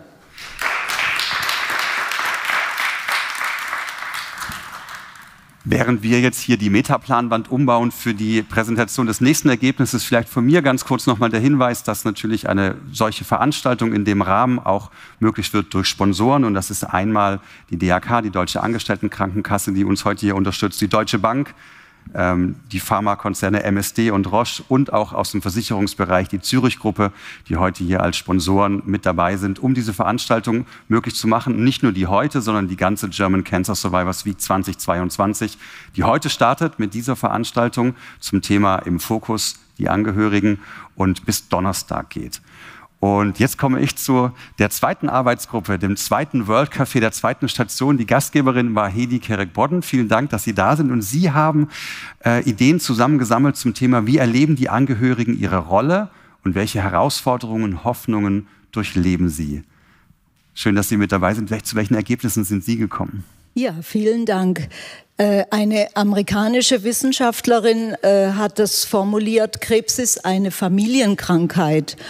Und äh, das zeigt sich ganz deutlich, äh, wenn man sich den Angehörigen zuwendet, die sich ja bewegen in einem Spannungsfeld von sich kümmern. Sie kümmern sich um den Betroffenen, haben aber selbst auch großen Kummer damit. Und neben Herausforderungen und den Hoffnungen war die dritte rote Karte die Ängste. Mhm. Also sowohl der Betroffene als auch die Angehörigen äh, bewegen große Ängste. Der ähm, An Angehörige, er muss funktionieren, er hat das Gefühl, ich muss jetzt einfach funktionieren und steht oftmals neben sich. Er kennt zu wenig bekannte Angebote, die ihm auch Hilfestellung geben können und äh, sieht zunächst vielleicht auch keinen Ansprechpartner wenn er nicht auf die Selbsthilfe zum Beispiel stößt oder auf die Krebsberatung. Er ist erschöpft, äußert sich oft in Schlaflosigkeit. Und äh, die Herausforderung ist, in diesem Spannungsfeld auch seine eigenen Grenzen und Ressourcen zu kennen. Das korrespondiert mit dieser Karte. Was ist meine Rolle? Was ist meine Rolle als Angehöriger? Wie stelle ich mich der Verantwortung? Äh, wie, wie kann ich das leisten? Und wie kann ich das leisten, ähm, ohne meine eigenen Bedürfnisse ganz in den Hintergrund zu stellen? Und das war die Karte, die mich am meisten beeindruckt hat. Darf ich auch Zeit für mich nehmen? Da kommt dann sowas auch wie ein schlechtes Gewissen sogar auf. Darf ich das jetzt? Dann muss ich als Angehöriger Mut machen und motivieren, wobei ich das eigentlich selbst brauchen würde. Das äh, ist dann auch ein großer Punkt. Und äh, was in diesem Kontext ist, also die Selbstfürsorge, dass die nicht in den Hintergrund gerät. Der Angehörige braucht gute Informationsquellen. Er braucht auch die Angebote der, der Psychoonkologie und Psychotherapie. Die braucht nicht nur der Betroffene, die braucht auch der Angehörige. Und es ist äh, wichtig, dass er von den im professionellen Gesundheitswesen nicht nur wahrgenommen wird ähm, äh, als äh, organisatorischer Hilfe in, in der Funktion, als äh, in der organisatorischen Hilfestellung oder in der Pflege, sondern dass er auch mit seinen Problemen und mit seinem äh, äh, äh ja, mit, mit seinen Problemen wahrgenommen wird als Person. Äh, was Corona zusätzlich verstärkt hat, dadurch, dass Kontakte weniger möglich waren, ist der Zustand der Hilflosigkeit, Verunsicherung, Überforderung und auch Ohnmacht in, in diesem Feld. Und da stellt sich die Frage für viele Angehörigen, wann ist der richtige Zeitpunkt und das richtige Maß, Themen anzusprechen, zu kommunizieren und auch die Frage, rede ich zu viel oder zu wenig? Äh, auf jeden Fall muss, er, äh, muss die Sprachlosigkeit überwunden, äh, überwunden werden. Ich meine, jetzt habe ich alle Karten hier bin ich denen ganz gerecht geworden und danke meinen Diskutanten für dieses Ergebnis. Wir, wir danken Ihnen, dass Sie das, äh, diese, diese Aufgabenstellung so komplex, komplex gelöst und auch so übersichtlich dargestellt haben. Da wünsche ich mir dann ähm, auch so ein Flipchart-Protokoll. Vielleicht können wir das auch noch irgendwo zur Verfügung stellen, weil das ist natürlich eine sehr übersichtliche und tolle Zusammenfassung. Also vielen Dank, Frau Kerik-Bodden. Gerne.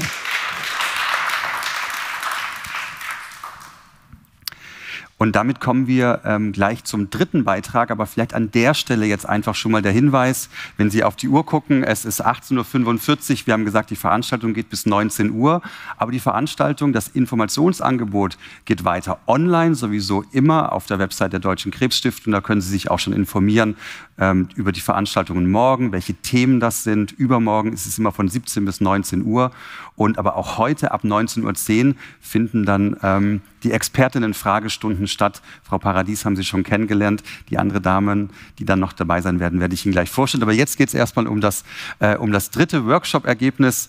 Und ähm, die Gastgeberin war äh, Perin Aktina, aber jetzt stehen zwei andere da. Herr Muth habe ich mir noch gemerkt und Ihr Namensschild kann ich gerade nicht sehen. Vielleicht stellen Sie sich kurz vor.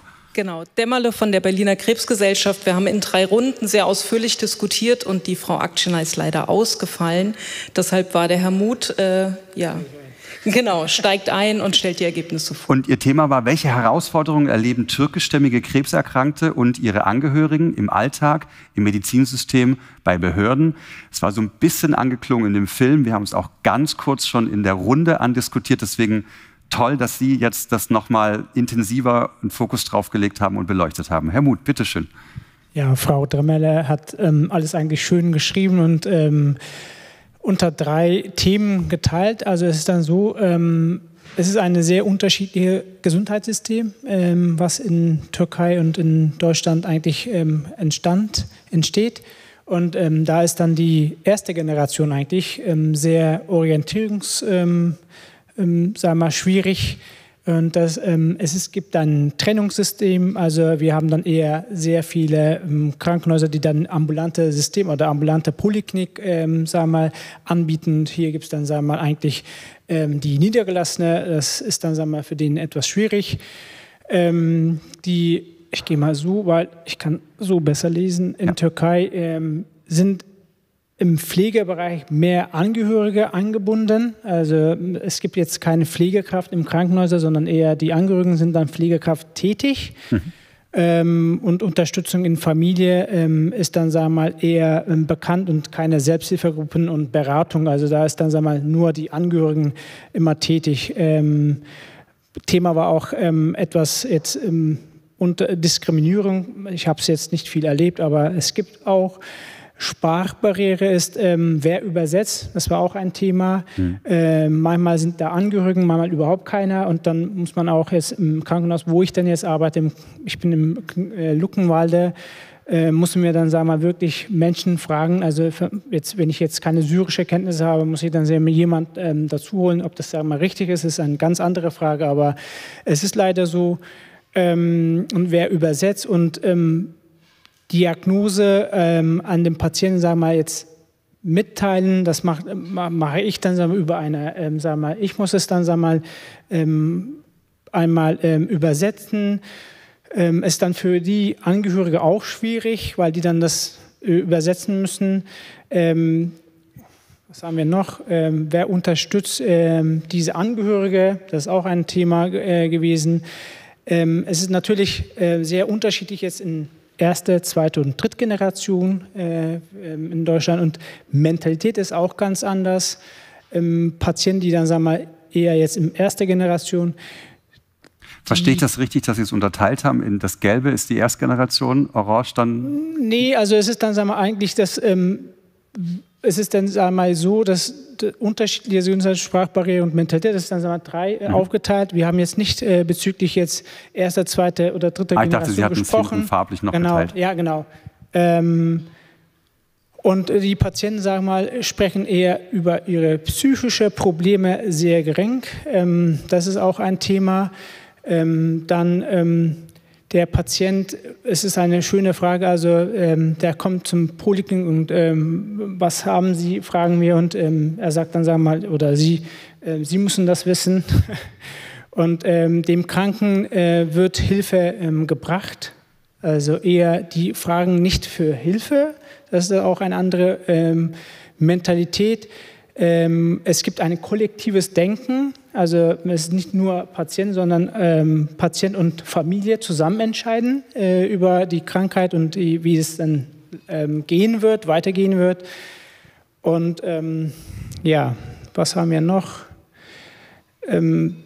Ähm, ja, ermutigen ähm, statt korrigieren, das ist auch ein Thema gewesen, weil ähm, im östlichen Denken, dass nur nicht ein Patient, äh, sondern ein Patient und 25 Angehörige kommen, äh, sagen wir im Krankenhäuser oder im Poliklinikbereich und dass man äh, dem Patient sagen wir, oder die Patienten hilft, äh, dass sie dann seine eigenen Wünsche dann auch äußert, weil die stehen dann da äh, an der Ecke und sagen gar nichts eigentlich. Also das waren die Themen, ja. glaube ich, was ich jetzt alles so schildern kann. Ja. Herr Muth, also Sie haben nicht nur Herausforderungen mit den Gruppen erarbeitet, sondern auch Unterschiede festgemacht. Vielen Dank auch für Ihre Arbeit und äh, mit den Gruppen und dass Sie das auch heute hier mit uns und den vielen, die zuschauen und noch sehen werden, geteilt haben. Vielen Dank. Dankeschön.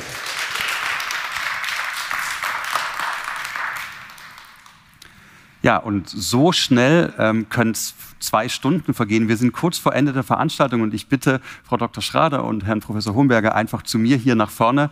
Sie können gerne, ja, Sie können einmal durchs Bild laufen oder einmal hinten rum. Das ist jetzt an der Stelle, es hat alles derartig reibungslos technisch geklappt. Da kann man jetzt auch einmal durchs Bild laufen. Kommen Sie gerne einfach zu mir. Ähm, und von mir an der Stelle jetzt wirklich auch der Hinweis, wenn Sie sich fragen, ah, jetzt habe ich Frau Paradies gerade kennengelernt, jetzt möchte ich doch auch wissen, wo kann ich denn gleich Fragen stellen? Gehen Sie Sie auf die Website deutsche-krebsstiftung.de und dort ist oben direkt der Banner äh, mit German Cancer Survivors Week 2022. Sie klicken drauf, da haben Sie das Tagesprogramm von heute. Wenn Sie jetzt gerade erst eingeschaltet haben und sagen, oh, da steht aber so viel, was mich interessiert hat, es wird auch alles online gestellt werden. Vor allem geht es aber ab 19.10 Uhr weiter in zwei ähm, Themenbereichen. Einmal Krebs und Schulden. Anfang dran von der Landes AG Schuldner- und Insolvenzberatung Berlin wird dort Fragen beantworten zu all dem Themenkomplex, wenn man nicht mehr arbeiten kann, ähm, wenn man seine Rechnung nicht mehr zahlen kann, aber krank ist. Da ist ein Riesenthemenkomplex, der wird in dem einen ähm, Chat, sage ich mal, abgedeckt, in der einen Videokonferenz und Frau Paradies und Frau Marie Rösler ähm, würden das Thema Krebs und Pflege abdecken in dem anderen. Die Links sind dort also auch hinterlegt. Das heißt, Sie müssen im Anschluss an das, was Frau Dr. Schrader und Herr Professor Hohenberger gleich sagen, dann den Raum wechseln. Jetzt aber noch nicht. Erst nachher. Aber ich dachte, ich sage es Ihnen jetzt schon mal. Frau Dr. Schrader, Sie haben die ganze Veranstaltung jetzt hier ähm, mitbegleitet, haben das Grußwort ganz am Anfang gehalten, haben den Auftakt. Es ist ganz schön viel passiert seitdem. Informationen wurden geteilt, Themen wurden diskutiert, wir haben Filme gesehen, Fachvorträge, drei Ergebnisse zu drei verschiedenen Themenstellungen in den World Cafés. Was ist Ihr Eindruck? Was nehmen Sie als wichtigstes Learning, obwohl Sie ja schon so viel wissen von dem heutigen Abend mit? Ja, also Sie haben natürlich recht. Es ist wirklich. Nee, kann, braucht kein Mikrofon jetzt. Ne? Ah, Natürlich. Sie brauchen natürlich ein Mikrofon. Ja, na klar. Also Sie haben recht, es ist wirklich viel passiert. Mhm.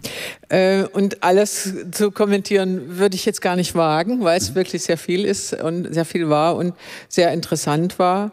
Was wir jetzt zu diesem ähm, Word Café, äh, mhm. habe ich schon das Bedürfnis, was zu sagen, ja.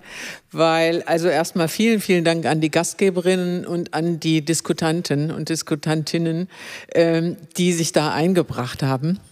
Äh, und das ist ja wirklich ein interessantes Format, also feststehende Themen zu haben gewissermaßen und wechselnde Diskutanten. Und das äh, ist eigentlich fast ein Garant dafür, dass interessante Ideen oder neue Impulse da kommen. Das finde ich sehr spannend zum einen, mal so ran nach der formellen Seite.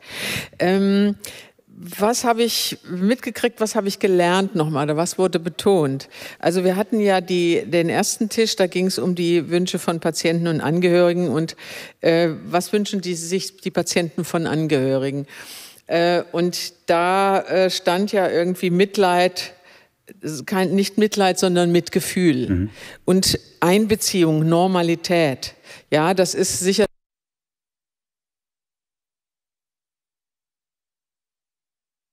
Neues, es kommt immer wieder. Das, daran merkt man, dass ähm, da noch viel zu tun ist. Und das Zauberwort heißt Kommunikation. Und ähm, miteinander sprechen, als sich unsicher abzuwenden, wenn diese Erkrankung passiert, das ist eigentlich ähm, der erste Schritt, aber den muss man lernen. Und ähm, andere äh, Dinge wie keine Versprechungen, sondern lieber nachfragen. Das hm. fand ich, fand ich ganz wichtig. Ähm, an, dieser, an diesem Tisch, an diesem Diskussionsthema. Dann ging's welche Rolle haben denn eigentlich die Angehörigen?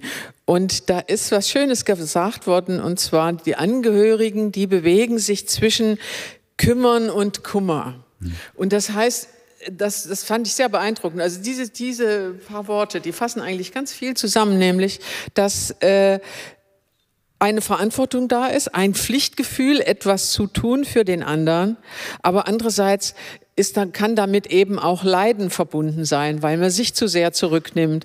Äh, darf man jetzt noch was für sich tun? Und diese Dinge. Sehr, sehr spannend. Äh, letztendlich geht wieder alles auf Kommunikation hinaus. Man soll sich fragen, aber man soll wirklich, es soll, sollte auch klar werden, und das halte ich für eine ganz wichtige Erkenntnis aus diesem Tisch, die äh, Angehörigen brauchen auch psychische Stärkung und äh, Anerkennung dessen, was sie tun. Mhm von außen, von allen. Deshalb ist es so wichtig, dass man das in die Öffentlichkeit trägt und dass sich das nicht zu Hause im Zimmerchen abspielt und naja, ich habe mein Los zu tragen. Ja, das hast du in dem Fall, aber es ist ein sehr wichtiges, was den anderen allen nützt. Und du musst es nicht verstecken. Und du darfst trotzdem noch du selbst sein. Also diese Dinge, mit denen wir uns in NRW auch in verschiedenen Projekten befasst haben, da bin ich so ein bisschen drin ganz wichtig.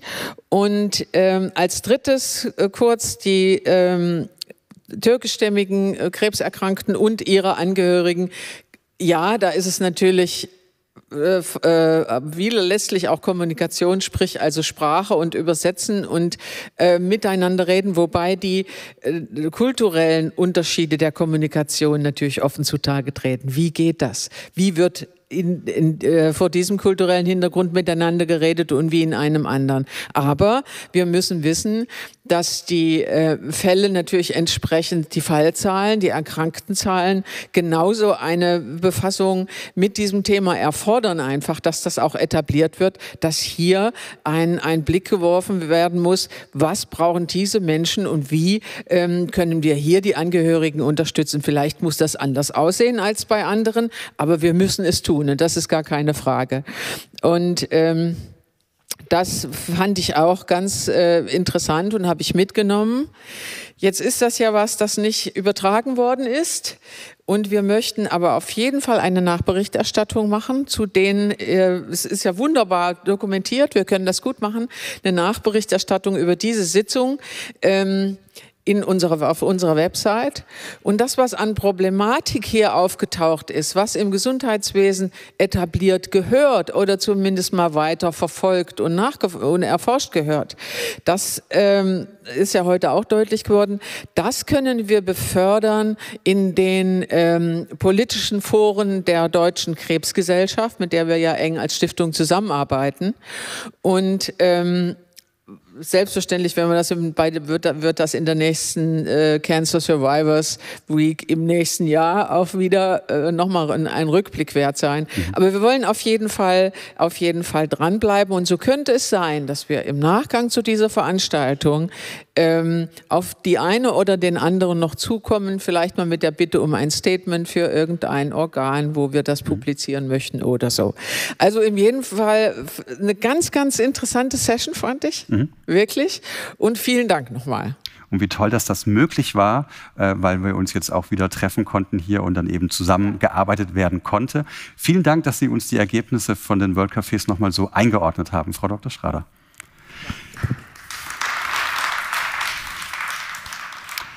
Und bevor ich jetzt an das Schlusswort, für das Schlusswort übergebe, von mir nochmal der Hinweis, wenn Sie in den Expertinnen-Fragestunden mit dabei sein möchten, dann wechseln Sie den Stream auf der Website der Deutschen Krebsstiftung, finden Sie die entsprechenden Links oder auch URLs, also diese Internetadressen, die sind äh, andersfarbig, einfach draufklicken und dann sind sie hier raus, aber noch nicht, denn es kommt noch das Schlusswort und ich möchte Ihnen auch noch sagen, was morgen passiert. Frau Dr. Schrader hat auch gesagt, der Kern war immer wieder, wir sind auf Kommunikation zurückgekommen, auf das, was zwischen den Menschen passiert und deswegen freue ich mich auf einen großartigen Vortrag morgen zum Thema, wie gehen wir miteinander um, wenn Krebs passiert. 17 bis 19 Uhr morgen veranstaltet der Abend der German Cancer Survivors Week 22 von der Landeskrebsgesellschaft NRW. Aber jetzt bin ich mit Worten am Ende und übergebe für das Schlusswort an Professor Dr. Werner Hohenberger aus dem Vorstand der Deutschen Krebsstiftung. Vielen Dank, Herr Ammer. Liebe Teilnehmerinnen und Teilnehmer, liebe Mitwirkende des, der diesjährigen German Cancer Survivor Week.